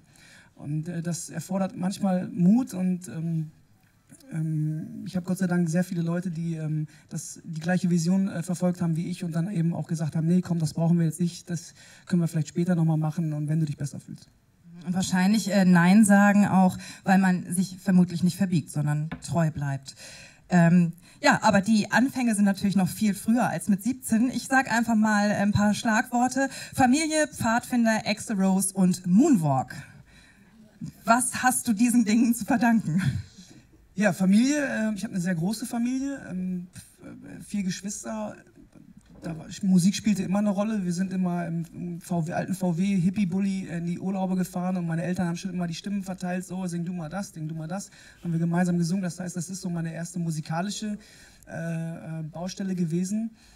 Dann Axel Rose, das war, ich war natürlich großer Guns N' Roses Fan mit 13, 14, da habe ich mir die weiße Radlerhose angezogen und ein rotes Stirnband und du musst super ausgesehen haben. Damals hat man sich da noch äh, über, über Style noch keine Gedanken gemacht. Ich fand mich cool auf jeden Fall, indem ich dann äh, Axel Rose imitiert habe. Dann Moonwalk, den habe ich äh, gelernt, den kann ich bis heute noch. Den oh, das ist eine gute Vorlage. So, achso, nee, also, nee. Hast du den noch? Warte. Okay. ja, yes! Johannes Oerding mit der Moonwalk! Woo! Mit Hut und allem! Michael Jackson, Jackson ist still alive. Vielen Dank, Hammer. Man musste ein paar Moves drauf haben früher. Wenn man vom Dorf kommt, dann hast du das schon schwer Eindruck gemacht. Der absolute Hammer. Du, wir springen nochmal zu deiner Familie, denn ähm, die erinnern so ein bisschen an die Schwarzwaldklinik. Ja, stimmt, da haben wir drüber gesprochen. Ne? Ja, ähm, der äh, Gag ist, wir sind alle in Münster geboren, alle meine, äh, meine vier Geschwister und ich, in der Raphaelsklinik. Und das hat folgenden Grund. Ähm, meine Eltern haben da beide gearbeitet. Mein Vater war ähm, Arzt und meine Mutter war Krankenschwester. Mein Vater heißt mit Vornamen Udo und meine Mutter heißt Elke. Also Dr. Udo und Schwester Elke. Dr. Udo und Schwester Elke in der Raphaelsklinik in Münster sich kennengelernt. Und ich habe, glaube ich, äh, bei meiner Geburt, da haben wir schon am Niederrhein gewohnt, also an der holländischen Grenze. Aber ich habe mir gedacht, nee, das ist äh, für den Running Gag, fahren wir jetzt nochmal nach Münster und bringen den auch noch da zur Welt. Und vor allen Dingen, meine Mutter hatte ja schon drei Kinder zur Welt gebracht. Das heißt, die wusste, wie es abläuft, die konnte das genau planen. Die gesagt, so Udo, noch zwei Stunden, dann geht's los nach Münster. Und äh, hat alles geklappt. Und das Weihnachten, ne? Also so viel dazu. Ja, zweiter Weihnachtstag habe ich Geburtstag. Und jetzt mal kurz, also die Rollen waren äh, gespielt von Sascha Hehn und Barbara Wusso, für die, die es jetzt im parat hatten, das wollte ich nur kurz sagen. Aber das ist wirklich sehr schön. Ähm, ja, wenn du, gibt es, hat man Lieblingsgeschwister, wenn man so viele Geschwister hat? Ähm, Lieblingsgeschwister würde ich nicht sagen, aber ich glaube, man hat mit dem einen oder anderen ein bisschen mehr Zeit verbracht. Bei mir war das meine kleinere Schwester, die zwei Jahre jünger ist als ich und wir hatten den gleichen Freundeskreis und ich fühlte mich als älterer Bruder natürlich auch verantwortlich und äh, berufen. Es gibt eine schöne Geschichte, ihr heutiger Ehemann und äh, Vater ihrer zwei Kinder, den äh, musste ich mal verhauen früher. Weil, Du musstest ihn verhauen. Ja, ja, ich bin sonst gegen Gewalt, aber der hat meiner kleinen Schwester irgendwann mal eine Backpfeife gegeben in der siebten Klasse. Und hat mein Vater gesagt, pass auf, Hannes, du gehst am Morgen hin, äh, ähm, knöpfst du den Jungen mal vor. Und dann äh, bin ich äh, zum, zur Nachbarschule, weil die war auf einer anderen Schule. Und dann habe ich gesagt, Clemens, komm mal kurz mit in die Toilette. Entgegen, wir müssen reden. Und dann, äh, ja, und Clemens war halt so, Clemens kannte dann irgendwie so eine Russengang da irgendwie und äh, äh, aber das Gute war, ich kannte die auch. Er, woll- er wollte sie gerade rufen, sie so, Vitali, komm mal schnell und ich so, nee, Vitali, bleib mal da.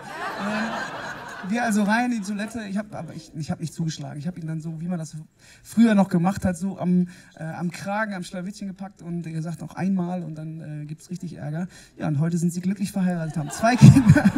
Das ist echt schön.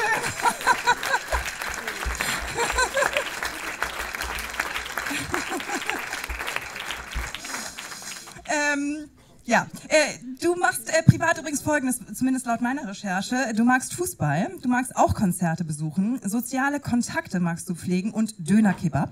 Stimmt das? Ja, ich bin äh, großer Döner-Tester hier in Hamburg auch. Also, wenn ihr Tipps braucht, ich, ich kenne, glaube ich, jeden Dönerladen hier in Hamburg. Ich kriege sogar in einem kriege ich umsonst Döner, weil ich irgendwann mal im Fernsehen gesagt habe, da wäre der Beste. Ähm, ist übrigens ein großes Hobby auch von mir, dass ich mittlerweile in Interviews immer so Namen fallen lache von Dingen, die ich mag. Ich habe auch mal gesagt, ich liebe Senseo-Kaffee und seitdem kriege ich immer Senseo umsonst. Also, ist, äh, Feuerfrei, du, kein Problem. Und äh, zum Privatleben gehört natürlich auch, man, man muss natürlich über Ina sprechen, denn ich wollte an dieser Stelle sagen, liebe Ina Müller, Peter, Christian und ich würden dich gern einladen. Bitte komm in den Talk dort. Kannst du ihr das sagen? ja, mach ich. Ich hab's ja jetzt auch gesagt, aber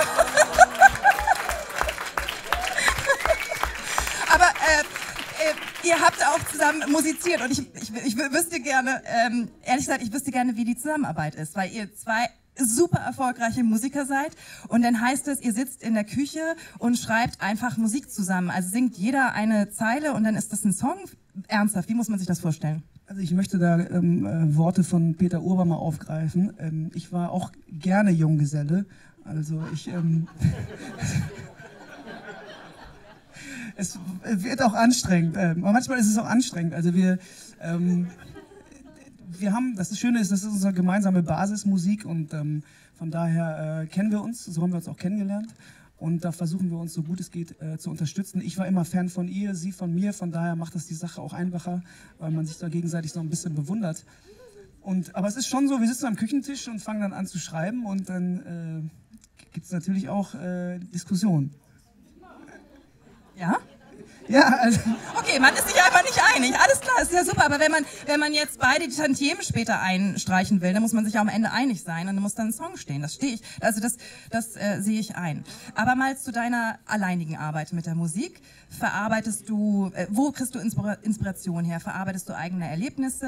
Ähm, musst du permanent raus, um irgendwie dir Menschen anzuschauen? Wie lässt du dich inspirieren? Äh, Ich glaube, es ist schon so, dass ich ähm, gerne unterwegs bin und auch unterwegs sein muss, um eben die Geschichten auch aufzusaugen, um zuzuhören, was andere Menschen erzählen, was mein Umfeld erzählt. Natürlich hört man auch erstmal in sich rein, gucken, was man selber so aufschreiben muss und loslassen, loswerden muss. Aber das ist ja nach ein paar Songs auch erzählt. Also man, wenn ich nur zu Hause sitzen würde und über Songs schreiben würde, dann hätte ich wahrscheinlich in drei Songs alles erzählt. Deshalb musst du unterwegs sein, glaube ich, als Künstler oder als Songschreiber, um ein bisschen gucken, was passiert eigentlich noch so in der Welt. Stimmungen aufgreifen, Gespräche aufgreifen. Das kann auch hier heute Abend äh, am Tresen passieren, dass jemand was Schlaues sagt. Und ich denke, ja, da hat er recht, äh, stimmt. So fühle ich mich auch, das schreibe ich mal auf. Also man muss eigentlich immer die Ohren und Augen äh, offen halten um eben Geschichten auch ähm, ja, schreiben zu können. Und ist das für dich leichter, vielleicht Gefühle über Gefühle auch über Songs auszudrücken als im Gespräch oder kannst du beides? Paradoxerweise ist es äh, wirklich so, dass ich ähm, mich eigentlich nur auf eine Bühne setzen kann und dann vor vielen tausend Menschen das so spielen kann. Da macht mir das nichts aus, weil ich so im direkten Gespräch, vor allem wenn die Kamera so richtig nah kommt. Vielleicht kannst du noch mal in die Nase fahren. Warte, so, so wirklich schön ehrliche Bilder wollen wir jetzt sehen. Ähm, dann äh, ist mir das eher un unangenehm.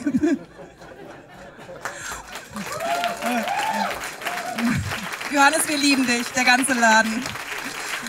Ja, also wie gesagt, ähm, ich bin da wahrscheinlich auch dann äh, durchschnittlich männliches Exemplar, was nicht äh, immer gerne über Gefühle spricht und ähm, da braucht man schon den richtigen Zeitpunkt für. Ansonsten, ja wie gesagt, schreibe ich das auf, singe darüber oder betrinke mich. Und, ähm, und können wir das vielleicht in der Reihenfolge machen? Würdest du jetzt einen Song für uns singen und danach betrinken wir uns noch? So habe ich mir das vorgestellt heute Abend. Das So super, dann gehen wir jetzt zur Bühne. Applaus. Johannes, was wirst du uns singen? Äh, ich singe einen Song, äh, der heißt 100 Leben. Das ist quasi ein bisschen die Geschichte äh, über ähm, die erste Hälfte meines Lebens, die ich auf dem Dorf, auf einem kleinen Dorf am Niederrhein verbracht habe. Und die habe ich versucht festzuhalten in ein paar Akkorden. Wunderbar. Und wir hören jetzt äh, Johannes Oerding mit 100 Leben von der brandneuen LP, Vinyl, äh, Kreise. Hier bei TalkDot und es ist, wie er uns gesagt hat, unplugged in dieser Version eine Weltpremiere, zumindest eine Weltpremiere auf St. Pauli. Und jetzt sage ich, hier ist Johannes Oerding.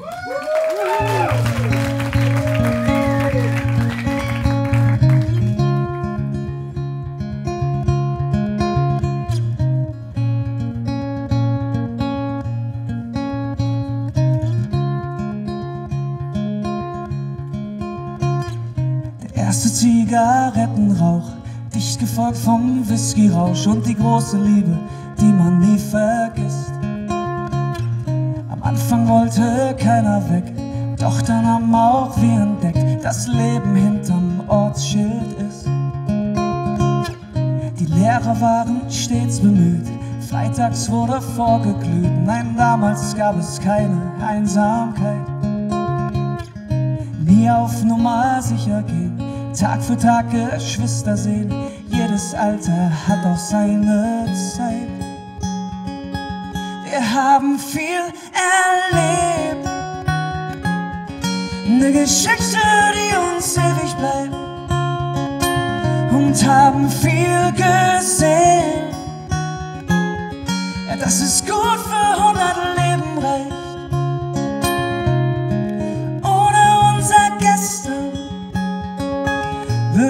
mich heute nicht so auf morgen freuen.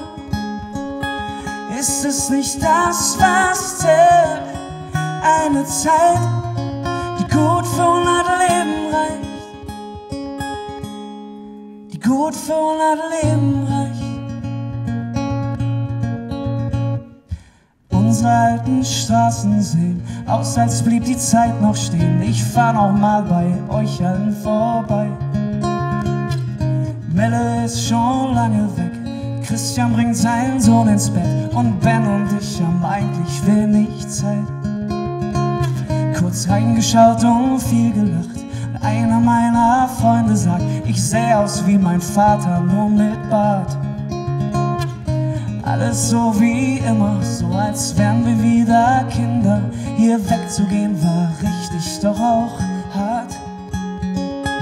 Wir haben viel erlebt, eine Geschichte, die uns ewig bleibt. Und haben viel gesehen, ja, ja. ja das ist gut für 100 Leben reicht. Und ohne unser Gestern würde ich mich heute nicht so auf morgen freuen. Ist es nicht das, was zählt? Eine Zeit, die gut für 100 Leben reicht. Oh ja, eine Zeit, die gut für 100 Leben reicht.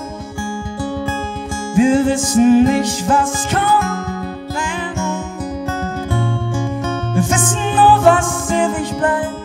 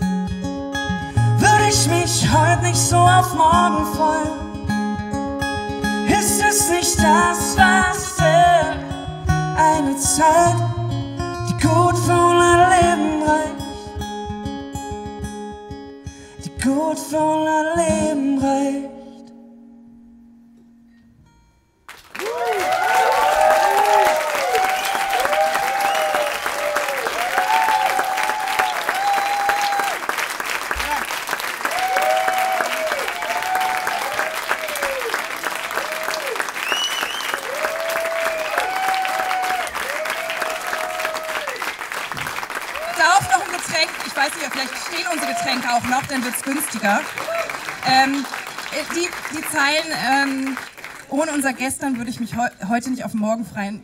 Die waren mir vorher auch schon aufgefallen. Die sind einfach so schön. Äh, die waren eine Eingebung. In welcher Situation, weißt du das noch? Oh, neue Getränke, danke. Du hast was Neues? Ich habe noch mal ein altes Bier hier. Ist Guck mal ganz kurz. Ich glaube, der ist aufgefüllt, der Cuba Libre. so. Ähm, ja, es ist äh, ganz spannend. Im, im, im, beim Songschreiben, man hat natürlich immer nicht äh, so gute Zeilen parat. Also da ist auch ganz viel Verschnitt dabei. Und es ist wirklich die Seltenheit, dass man wirklich es schafft, ähm, Songs auch auf den Punkt zu bringen. Deshalb freue ich mich eigentlich über jeden Song, ähm, der es eben schafft, mit möglichst wenig Worten das zu sagen, was ich sagen möchte. Aber das ist wirklich auch einer von, das kann einer von 20 Songs sein. Da muss man auch Geduld haben als Songschreiber, weil man schreibt halt nicht, wie Peter schon sagte vorhin, ähm, es gibt kein Rezept für einen Hit oder für einen tollen Song, sondern das passiert manchmal einfach. Könntest du dir vorstellen, auch auf Englisch zu schreiben? Wirst du bestimmt auch öfter gefragt. Zu schreiben auf Zu Englisch? schreiben auf Englisch. In, in English. Well, you know, ähm, nee, überhaupt nicht. Das werde ich oft gefragt. Ähm, natürlich äh, kann ich Englisch sprechen und habe auch ein, ein ganz passables Schulenglisch. Aber die Bilder, die man halt sagen möchte, die äh, Wortspiele, die Metaphern, die Analogien, die kann man halt meiner Meinung nach nur in seiner Muttersprache so rüberbringen. Gerade äh, wenn man dann doch über, ich sag mal, ähm, äh, ja, auch über tiefere Themen singt. Ich sag immer, würde ich auf Englisch singen, dann wären das wirklich so Dieter Bohlen-Texte. Das wäre also wirklich so Forever together tonight, we gonna be zu zweit. Also es ist, irgendwie, äh, ist das will keiner hören und das, das überlasse ich anderen. Wir wollen es auch nicht hören. Ähm, momentan trinkst du Bier, ich Cuba Libre. Ähm, trinkt ihr was vor der Show? Habt ihr Rituale? Vor der Tour? Bald gibt's wieder eine Tour. Das war doch eine rhetorische Frage, oder? Also, Ähm, okay, Ähm, ich tue auch gleich ganz überrascht. Ein Musiker trinkt ihr vor der Show? Das ist, äh, nein, hier, guck mal, der schüttelt schon auf der Bühne mit dem Kopf, als ob die jemals vor der Show getrunken hätten. Nein, wir sind hochprofessionell. Es gibt nur Wasser, Mondwasser. Ähm, doch, wir haben ein Ritual. Und zwar ähm, trinken wir seit wirklich über zehn Jahren ähm, vor der Show. Und das ist wirklich ein Muss. Das steht auch in jedem äh, Rider, so heißt das, äh, was die Leute immer kriegen vor Ort. Ähm, eine Bühnenanweisung oder auch eine Catering-Anweisung. Da steht drin, wir brauchen Ramazzotti. Also ich weiß, äh, viele Leute rollen mit den Augen, ähm, mittlerweile tue ich es auch, weil hätte ich gewusst, äh, dass ich so lange auf Tour bin in meinem Leben, dann hätte ich mir damals, glaube ich, ein besseres Getränk ausgesucht.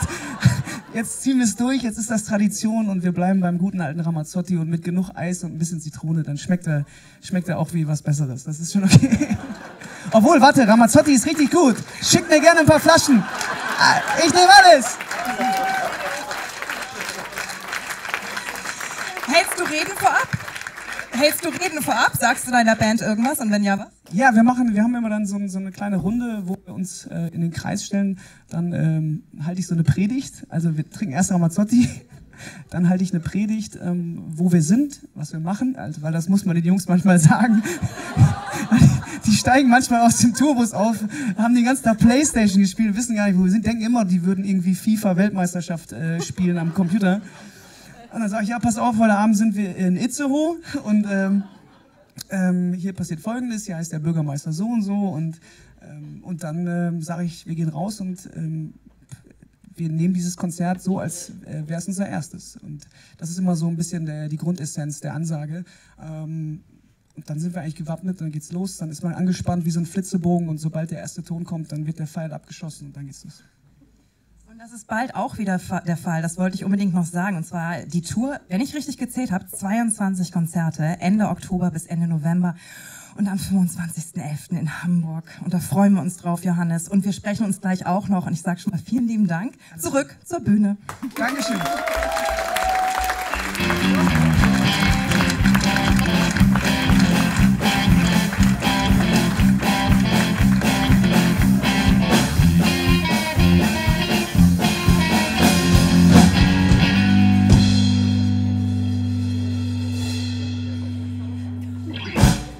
Peter Urban sitzt bei mir und du wirst morgen Abend wie immer im NDR 2 Studio sitzen. Donnerstagabend ist dein Abend zwischen 21 Uhr und Mitternacht bei der NDR 2 neue Soundcheck Peter Urban Show. Ja. Ist das richtig? Ja, die haben irgendwie seit letztem Jahr haben sie irgendwie das in meinen, meinen Namen umgewandelt. Ich weiß nicht, was sie sich davon versprechen, aber es ist eine, eine Sendung mit neuen Veröffentlichungen, neuen Alben, neuen Singles, neuen. Und da kommt Dingen. nur rein, was du hörst und bestimmst das auch oder gibt es da wieder eine Musikredaktion, das, die das, sagt, best- das kann ich bestimmen. Also als sogenanntes Urgestein, als alte Legende und Vet Veteran, da darf ich das selbst bestimmen, ja. Und äh, ist das ein Unterschied, äh, das, was bei dir zu Hause auf dem Plattenteller in den CD-Apparat oder in irgendein Abspielgerät kommt und das, was du auf NDR 2 präsentierst? Oder ist da die Schnittmenge schon sehr, sehr Die urban? Schnittmenge ist sehr, sehr groß. Also ehrlich gesagt höre ich sehr, sehr wenig Privatmusik, weil ich so viel hören will und muss. Weil um eine Sendung vorzubereiten, ich mache ja auch noch Sendungen auf NDR Info, den Nachtclub, da, da hört man so viel neue CDs, das zur genüsslichen, äh, lockeren äh, Runde im Wohnzimmer, um Musik zu hören, eigentlich gar keine Zeit ist. Da schaut man lieber ein Krimi oder sowas. Also ich bin eigentlich nicht jemand, der ganz viel Musik hört, aber ich äh, äh, mache schon, habe in letzter Zeit gemerkt, dann hole ich mir doch mal wieder was raus, um das mal aufzufrischen. Denn oft verändern sich ja auch die Hörgewohnheiten und man denkt, ey, das fand man früher toll und heute hört es sich dann doch nicht so spannend an. Also das passiert schon, aber oft findet man auch, ey, ist ja immer noch geil. Ist ja Aber gibt noch so, so Mails und Anrufe, Urban, bring mich in die Show, bring mich in die Show, ich geig dir was oder Ja, so? Was? Oder- nein, nein. mir was? das gab's, das gab's früher mal. Also das ist ein bisschen, das ist 30 Jahre her. Aber nein, nein. Äh, es gibt natürlich Anrufe. Ja, die Leute wollen gerne kommen, Leute ob ins, zum Interview oder so. Ich kriege natürlich Mails und so, kannst du nicht das mal spielen und das mal spielen. Ja, aber dann, das sage ich schon, ja, aber ich muss, es muss auch schon irgendwie dem Standard entsprechen oder so. Man kann ja nicht alles machen. Also insofern, da muss man auch mal Nein sagen. Ja, das ist Ne? ja das Haben Credo von. Oerdinge und äh, anscheinend auch von dir Mhm. ab und zu. Ähm, nein, hast du nicht gesagt bei so großen äh, Interviews wie äh, mit Keith Richards, mit Harry Belafonte, mit Rod Stewart, mit Yoko Ono. Die Liste ist endlos, meine Damen und Herren, die könnte ich ewig weiterführen. Die Stones kommen ja jetzt in den Stadtpark. Mhm. Ähm, war Keith äh, Richards so ein Hauptinterviewpartner, wo du sagst, der bleibt mir ewig in Erinnerung oder wer bleibt dir denn im Herzen so nach all der ganzen der Zeit? ist einfach so ungewöhnlich gewesen. Der war einfach so äh, bereit zu erzählen. Der hat eine Stunde lang äh, runtergeredet, hat dabei mindestens eine halbe Flasche äh, seinen Bourbon Whisky getrunken. Zwischendurch ist nochmal wieder rausgerannt, hat sich erfrischt oder weiß Gott, was er gemacht hat, die Hände gewaschen. Äh, aber, aber jedenfalls ist er, ist er zurückgekommen und hat dann noch feuriger erzählt. Äh, Das war damals eine Zeit, wo die Stones eine Krise hatten, wo er einen Streit mit Jagger hatte. Er hatte ein Soloalbum gemacht und dann ging es die Auseinandersetzung Jagger, Keith Richards. Die waren damals so ein bisschen auf Kriegsfuß und diese Geschichten zu erzählen, das war einfach großartig und äh, das war grandios. Ich habe ihn dann zwei Jahre oder ja, anderthalb Jahre nochmal wieder interviewt. Er konnte sich dann nicht so richtig erinnern, aber trotzdem, das ist ja auch nicht ungewöhnlich bei jemandem mit dem Konsum, aber er, er ist einfach ein, ein geiler Typ, er ist einfach ein unheimlich authentischer, toller Typ.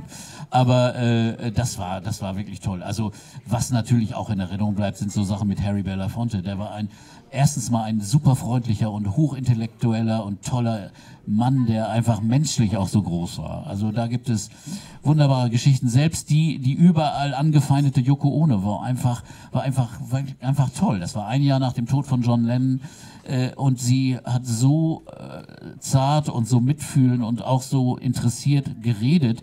Also da war überhaupt nichts zu spüren von irgendwelcher Zickigkeit. Also insofern, es kommt auch immer ein bisschen darauf an, wie man die Leute anspricht, ehrlich gesagt. Ne? Also wenn man gleich mit dummen Fragen ankommt, dann, dann, dann kriegt man dumme Antworten. Das ist ja meistens so. Alles gut, Peter. Alles gut. Alles gut. Alles klar. Ruhig, Brauner. Also viele, viele Menschen, äh, die du über die Jahre begleitet hast und hoffentlich auch in den nächsten Jahren wirst. Wir werden natürlich morgen Radio hören. Ähm, du selber ähm, bist, wir haben es auch gerade von Johannes gehört, super Musiker, hast ja auch eine eigene Band, die Bad, Band Bad News Reunion. Mhm. Ähm, was für Musik macht ihr? Also äh, der Anfang dieser Band war äh, mal äh, äh, ein Konzert mit Abi Wallenstein, ein uralter Freund von mir. Das heißt schon Blues und Soulmusik, aber dann gab es einen anderen zweiten Singer-Songwriter, der da mitspielt, der sagt, der spielt sowas, was man heute so West Coast Musik genannt hat. Also einfach Songs, hervorragende Songs, ein paar Coverversionen. Es ist eine, eine Mixtur von Stilen. Äh, insofern äh, kann ich immer nicht genau sagen, was für eine Musik. Ich hasse auch diese Schubladenpackerei. Also in Deutschland ist es ja sehr beliebt. Ne? Das muss schon genau da reinpassen, sonst kann man nicht äh, über, man muss auch über den Tischrand mal gucken und äh, einfach sehen, Musik, die einfach einem Freude und äh, Vergnügen macht und die einem wirklich was gibt und die den Leuten was gibt. Das Wie oft probt ihr denn? Äh, Wir proben im Moment gar nicht, weil wir im Moment kein Konzert geplant haben. Das wird erst wieder Anfang nächsten Jahres stattfinden. In diesem Jahr hat es aus irgendwelchen Gründen nicht geklappt, aber dann treffen wir uns und üben, weiß ich nicht, zwei, drei Wochen und äh, üben neue Stücke ein oder frischen alte auf und dann äh, spielen wir nächstes Jahr, werden wir wohl in der Fabrik spielen zum 40. Jubiläum dieser Band. Sag mal, wollt ihr nicht bei, heute ist ja auch so, wir fragen immer gerne, warum, wollt ihr nicht auch mal bei Talk dort spielen? Das äh, müsste man sehen. Seid ihr Äh, zu teuer? Na, wir sind nicht teuer, nein. Aber Es gibt äh, ein die, Getränk extra. Nein, es ist die Zeit. Es ist ehrlich gesagt die Zeitfrage. Es ist ja so schon, den Hühnerhaufen zusammenzukriegen, ziemlich schwierig, weil zwei sind, Prof, sind professionelle Musiker, die sind dauernd auf Tournee, sind immer, sind nie da. Insofern wird es schwierig, sage ich mal so. Aber man könnte vielleicht äh, drüber reden. Ah, das ist mir, das Hoffnungsvolle ist mir lieber.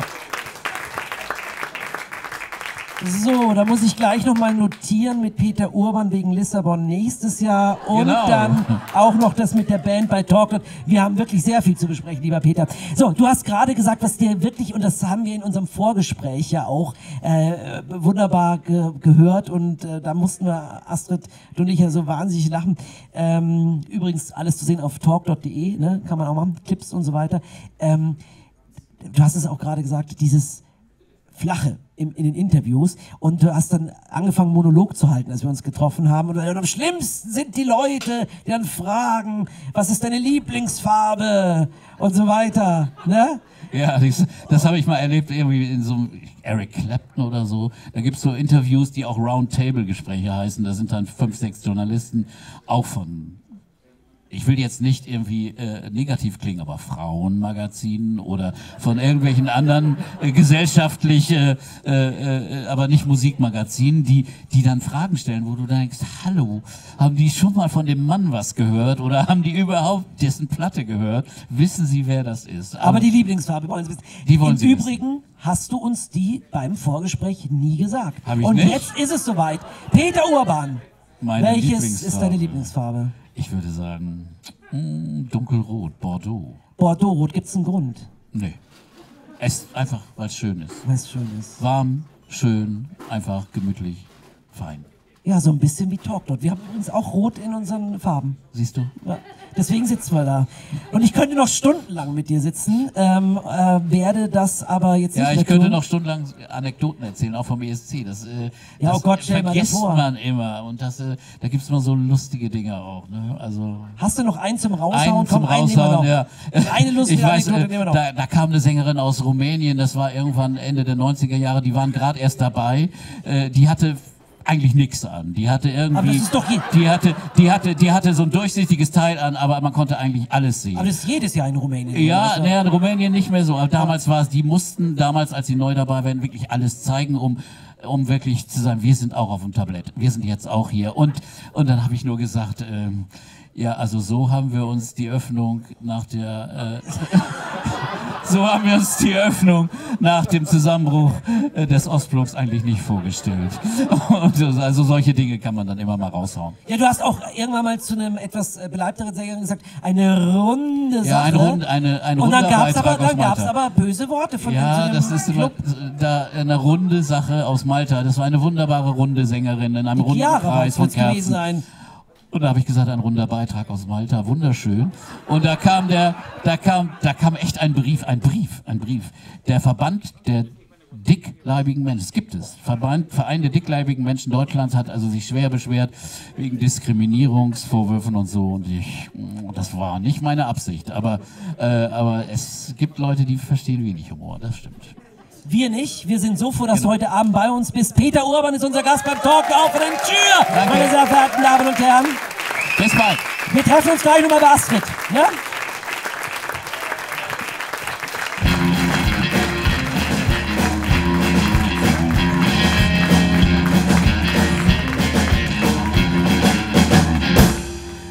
Der Gruppe haben sich wieder zusammengefunden. Äh, Gerade sagt Michaela mir ins Ohr, das könne ihr auch passieren, solch Ausrutscher, wenn es... Ja? Ja, also ich finde es so herrlich, mit, äh, wo Peter eben sagte, ich geig dir ein und äh, mit der runden Sache. Ich finde das so toll, wenn man manchmal spricht und dann erst denkt. Aber das ist auch so menschlich und mir sind auch schon so Sachen rausgerutscht, wo ich nachher gedacht habe, oh Gott, lieber erst mal denken, bevor man spricht. Ne? Aber auf der anderen Seite ist es auch so sympathisch.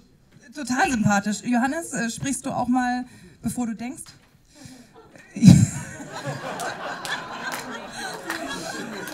Ich habe, ja, ich habe, es gab einen, äh, gab auch einen Vorfall, wo ich wirklich mal vor 10.000 Leuten auf einer Bühne stand, auf einem Festival und dann auch sagte, ähm, ja, der nächste Song, ich bin ja schon ein bisschen älter geworden ähm, und alle schon so, oh, oh, ja, er ist so alt, ja, ja, okay. Ich gesagt, ja, aber ihr ja auch, das sieht man und ähm, das wurde mir, dann wurde mir erst vier Minuten später, äh, später klar, ähm, dass das eine 1A-Beleidigung war für die Leute, für die Leute in der ersten Reihe, die ich gesehen habe. Aber so ist es halt. Peter krakeelt sofort, ja, ja, klar ist es das. Also da muss man manchmal so aufpassen, aber gerade wenn man spontan ist, da rutscht einem manchmal einer raus. Ich weiß einmal in Kopenhagen, da haben die, Ver da haben die Veranstalter äh, äh, äh, Feuerwerkskörper vor unseren Kabinen gezündet. Also toller Gag, dachten die. Ne? Nur es war auch die Zeit, wo es auch schon mal Anschläge gab. Und ich habe mich so erschrocken, da explodierte was vor meinem Fenster und ich habe mich so erschrocken, habe ich irgendwie geschrien, fucking hell, wollt ihr uns umbringen oder sowas. Also, auf Sendung, ne? Und das war natürlich, ähm, mh. aber gut, es war einfach spontan und ich habe mich echt erschrocken. Es war wirklich kein Witz. Da war der NDR wahrscheinlich böse. Hubert, sprichst du manchmal, bevor du denkst? Ja, das kommt schon mal vor. Also ich, ich mache das durchaus, aber wir können das ja tatsächlich auch auf den Schiffen dann auch als Helllicht verkaufen, dann ist das nicht so schlimm und wir müssen auch dann keinen beleidigen. Ich glaube, bei uns nimmt man das eher ab, aber äh, ja, das passiert schon. Gut, dann noch kurze Frage nach den Lieblingsfarben, das möchten wir jetzt von allen wissen. Johannes, deine Lieblingsfarbe? Äh, blau. Michaela? Ja, meine auch, ja. Rot? Hey, Michaela und Johannes haben was gemeinsam. Und Hubert? Ja, es gibt so ein ganz dunkel Blau, wo sie aussagen muss, was ich ganz toll finde. Ich kann mit Rot nicht, das, ich finde dunkles Marineblau super. Toll, alle finden es toll. Es gibt Applaus für die Farbe, Leute. Na, na, wir haben ja schon gesagt Bordeaux-Rot, ne? Bordeaux, Rot, Bordeaux. Ich habe schon dunkelrot gesagt. Ich war Das ist. Die. Leute.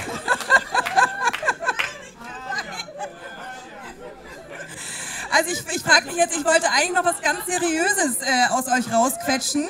Ähm, eigentlich wollte ich mit euch über Beziehungen sprechen, aber wir können ja erstmal, ach wisst ihr was, wir, wir klemmen mal zwischen den ersten Kuss. Weil ähm, ihr seid alle so seriös in langen Beziehungen und wenn ich euch jetzt danach frage, was das Geheimrezept ist, dann enden wir, vielleicht frage ich noch. Aber ähm, Könnt ihr euch an euren ersten Kuss erinnern? Also ich habe übrigens als er, mein erster Kuss war mit einer Freundin zusammen und zwei Jungs. Also äh, jedes Mädchen küsste jeden Jungen, jedes Mädchen küsste einmal jeden Jungen und umgekehrt. Aber ich küsste nicht das Mädchen. Also es war hinter der Turnhalle am Matthias-Claudius-Gymnasium und es war, wurde vorher per Zettel ver, verabredet im Unterricht. Gebt ihr uns einen Kuss? Und dann haben wir Ja angekreuzt und haben uns später ähm, hinter der Turnhalle getroffen. Und das war also so ein Viererkuss. Und Hubert? Nee, ein Viererkuss war das bei mir nicht. Das war, ähm, doch ich kam, das war sehr spät. Ich kann mich dran erinnern, da war ich auch gerade 18 und äh, in die Person war ich dann auch sehr verliebt und das hat auch ganz unglücklich geendet. Aber ich weiß noch genau, das war auf Norderney. Das war auf Norderney. So. Äh, ja, das sind die Erinnerungen für die Insel oder auf die Insel. Äh, müsste ich mal wieder hinfahren, gucken, was da los ist. In Erinnerung. Michaela, dein erster Kuss? War ganz schrecklich. Ja. Ähm, er war der beste Freund meines, meines Bruders und ich war natürlich total verknallt in ihn, hatte natürlich keine Ahnung, wie alt war ich, glaube ich, 13 und es war dann auch im, im Zimmer meines Bruders und es war irgendwie nur so feucht und schlapprig und irgendwie nicht schön. Nicht schön. Hat dein Vater deinem Bruder gesagt, er möchte den Jungen verhauen? Nein, hat er nicht gesagt. Ich bin auch nicht mit ihm zusammengekommen. Es hat nicht funktioniert. Okay, Johannes, erinnerst du dich? Ich erinnere mich deshalb sehr gut, weil ich äh, dieses Mädchen in dem gerade eben gehörten Song 100 Leben verarbeitet habe. Sie heißt Melanie und Melle heißt es in der zweiten Strophe. Melle ist schon lange weg. Äh, das war Melanie Retans. Äh, das war bei uns auf dem Dorf. Die gibt's noch. Die wohnt jetzt in Köln. Ist bis heute meine, eine, äh, meine beste Freundin eigentlich. Das ist der, der Gag an der Sache. Ähm, das ist jetzt so, also ich hab, mein erster Kuss ist so ein Jahr her und da habe ich mit ihr, ähm, ja, da haben wir, dann bin ich mit Ina zusammengekommen und haben wir gesagt, das müssen wir aufhören. Grüße an Melanie. Das ist einleuchtend. Peter. Also bei mir, sie hieß Marianne. Ich weiß es noch. Äh, Ich war 16, aber feucht und schlabbrig war es noch nicht, weil irgendwie ich wusste gar nicht, wie das ging. Es ging nur irgendwie Lippe auf Lippe und sie wusste es auch nicht und dann war das irgendwie ganz harmlos. Und den richtigen schlabbrigen Kuss, den kriegte ich dann erst mit 18 nach dem Abitur mit unserer Klassenältesten, die dann äh, uns mal eine kleine Nachhilfestunde gab. Nein, nicht der Lehrerin, aber, aber der Mitschülerin, die aber drei Jahre älter war. Das, das Schöne ist, wenn Peter, äh, wenn Peter davon erzählt, dann klingt das gleich wie so ein Schlagertext, weil so, sie hieß Marianne, ich war 16 und so weiter. Also, es war schlabbrig. Vielen herzlichen Dank. Das Thema ist super. Wir diskutieren später weiter. Ich hoffe, ihr habt Getränke, viel Alkohol, denn das werdet ihr gleich brauchen. Und warum? Das verrät euch Peter auf der Bühne. Ja, denn bei mir steht Minna 1 und die Tontauben. Und da kann man nur sagen, lieber doch nicht Alkohol trinken, denn auf diese Texte muss man hören, lieber Minder 1. Du bist jemand, der schon ganz früh angefangen hat mit Texten. Wann ging das denn los? Äh, mit 14, 15 circa. Mein Vater hatte eine Rock'n'Roll-Band. Der hat immer, die Instrumente standen alle im Keller, da konnte ich rumprobieren. Und ich war in der Pubertät und, den, und konnte schreiben, ich war Schule. Ja, dann habe ich gleich losgelegt. Gleich zu den ersten zwei Akkorden hatte ich gleich einen Text fertig. Und äh, hast du mal durchgezählt, wie viel du jetzt Texte schon geschrieben hast? Äh, nein, weil das, es gibt auch äh, mindestens 1500 angefangene Texte. Und welcher der Song ist fertig, welcher nicht. Also, nee. Das, ich schätze mal, äh, 800 Stücke werden es bestimmt schon sein. Eins davon hören wir gleich. Minder Heinz ist äh, der Gangchef, sage ich jetzt mal so. Am Kontrabass ist Andrew. Hallo und herzlich willkommen, Andrew. Herzlich der äh, Michael ist an einer umgebauten Schuhbox oder was soll das sein? So ungefähr. Also ähm, genau, die Schuhe hat er auch gerade an. Und an unserem Keyboard steht der Winchester. Gerade noch bei uns in der Hausband und jetzt schon bei Minder Heinz und die Tontauben. Und du bist auch der Produzent der Platte, richtig? Was hast du da alles zu tun? Warum diese Platte? Die Platte, weil die Songs gehört werden müssen und äh, produziert habe ich das, weil das war sonst zu teuer irgendwie, wenn die anderen Leute das alle gespielt hätten. Was hast du denn alles genau als Produzent zu tun? Was macht man da? Oh, man achtet darauf, dass der Künstler immer genug Kaffee bekommt und man, man, man holt den zu Hause ab. Äh, man, also eigentlich holt man den erstmal zu, äh, muss man ihn erstmal aufwecken und dann muss man Kaffee kochen. Um wie viel Uhr? Äh, äh, bei Anbruch des Mittags, sage ich mal, glaube ich, heißt es so. Und ähm, ja, dann, dann fährt man langsam ins Studio und ähm, dann, dann schreibt er die Texte noch fertig. Dann muss er das irgendwie, nee, bei Schraube ist das ganz, ganz einfach. Der singt das und es ist sofort genial. Wahnsinn. Und da wollen wir natürlich jetzt eine kleine Audioprobe, eine Hörprobe hören aus ihrem Album. Ähm, ich hoffe, es ist aus dem Album Lieder aus dem letzten Loch. Ja, daraus pfeifen sie jetzt nämlich. Lieder, ja, das heißt wirklich so, Lieder aus dem letzten Loch. Ähm, ein Titel, der passt auch wahnsinnig gut zu Astrid und unserer Talkshow Laufende Kosten. Meine sehr verehrten Damen und Herren, das war Talk der offenen Tür. Tschüss, wir sehen uns! Linda Heinz und die Tontauben! Tschüss!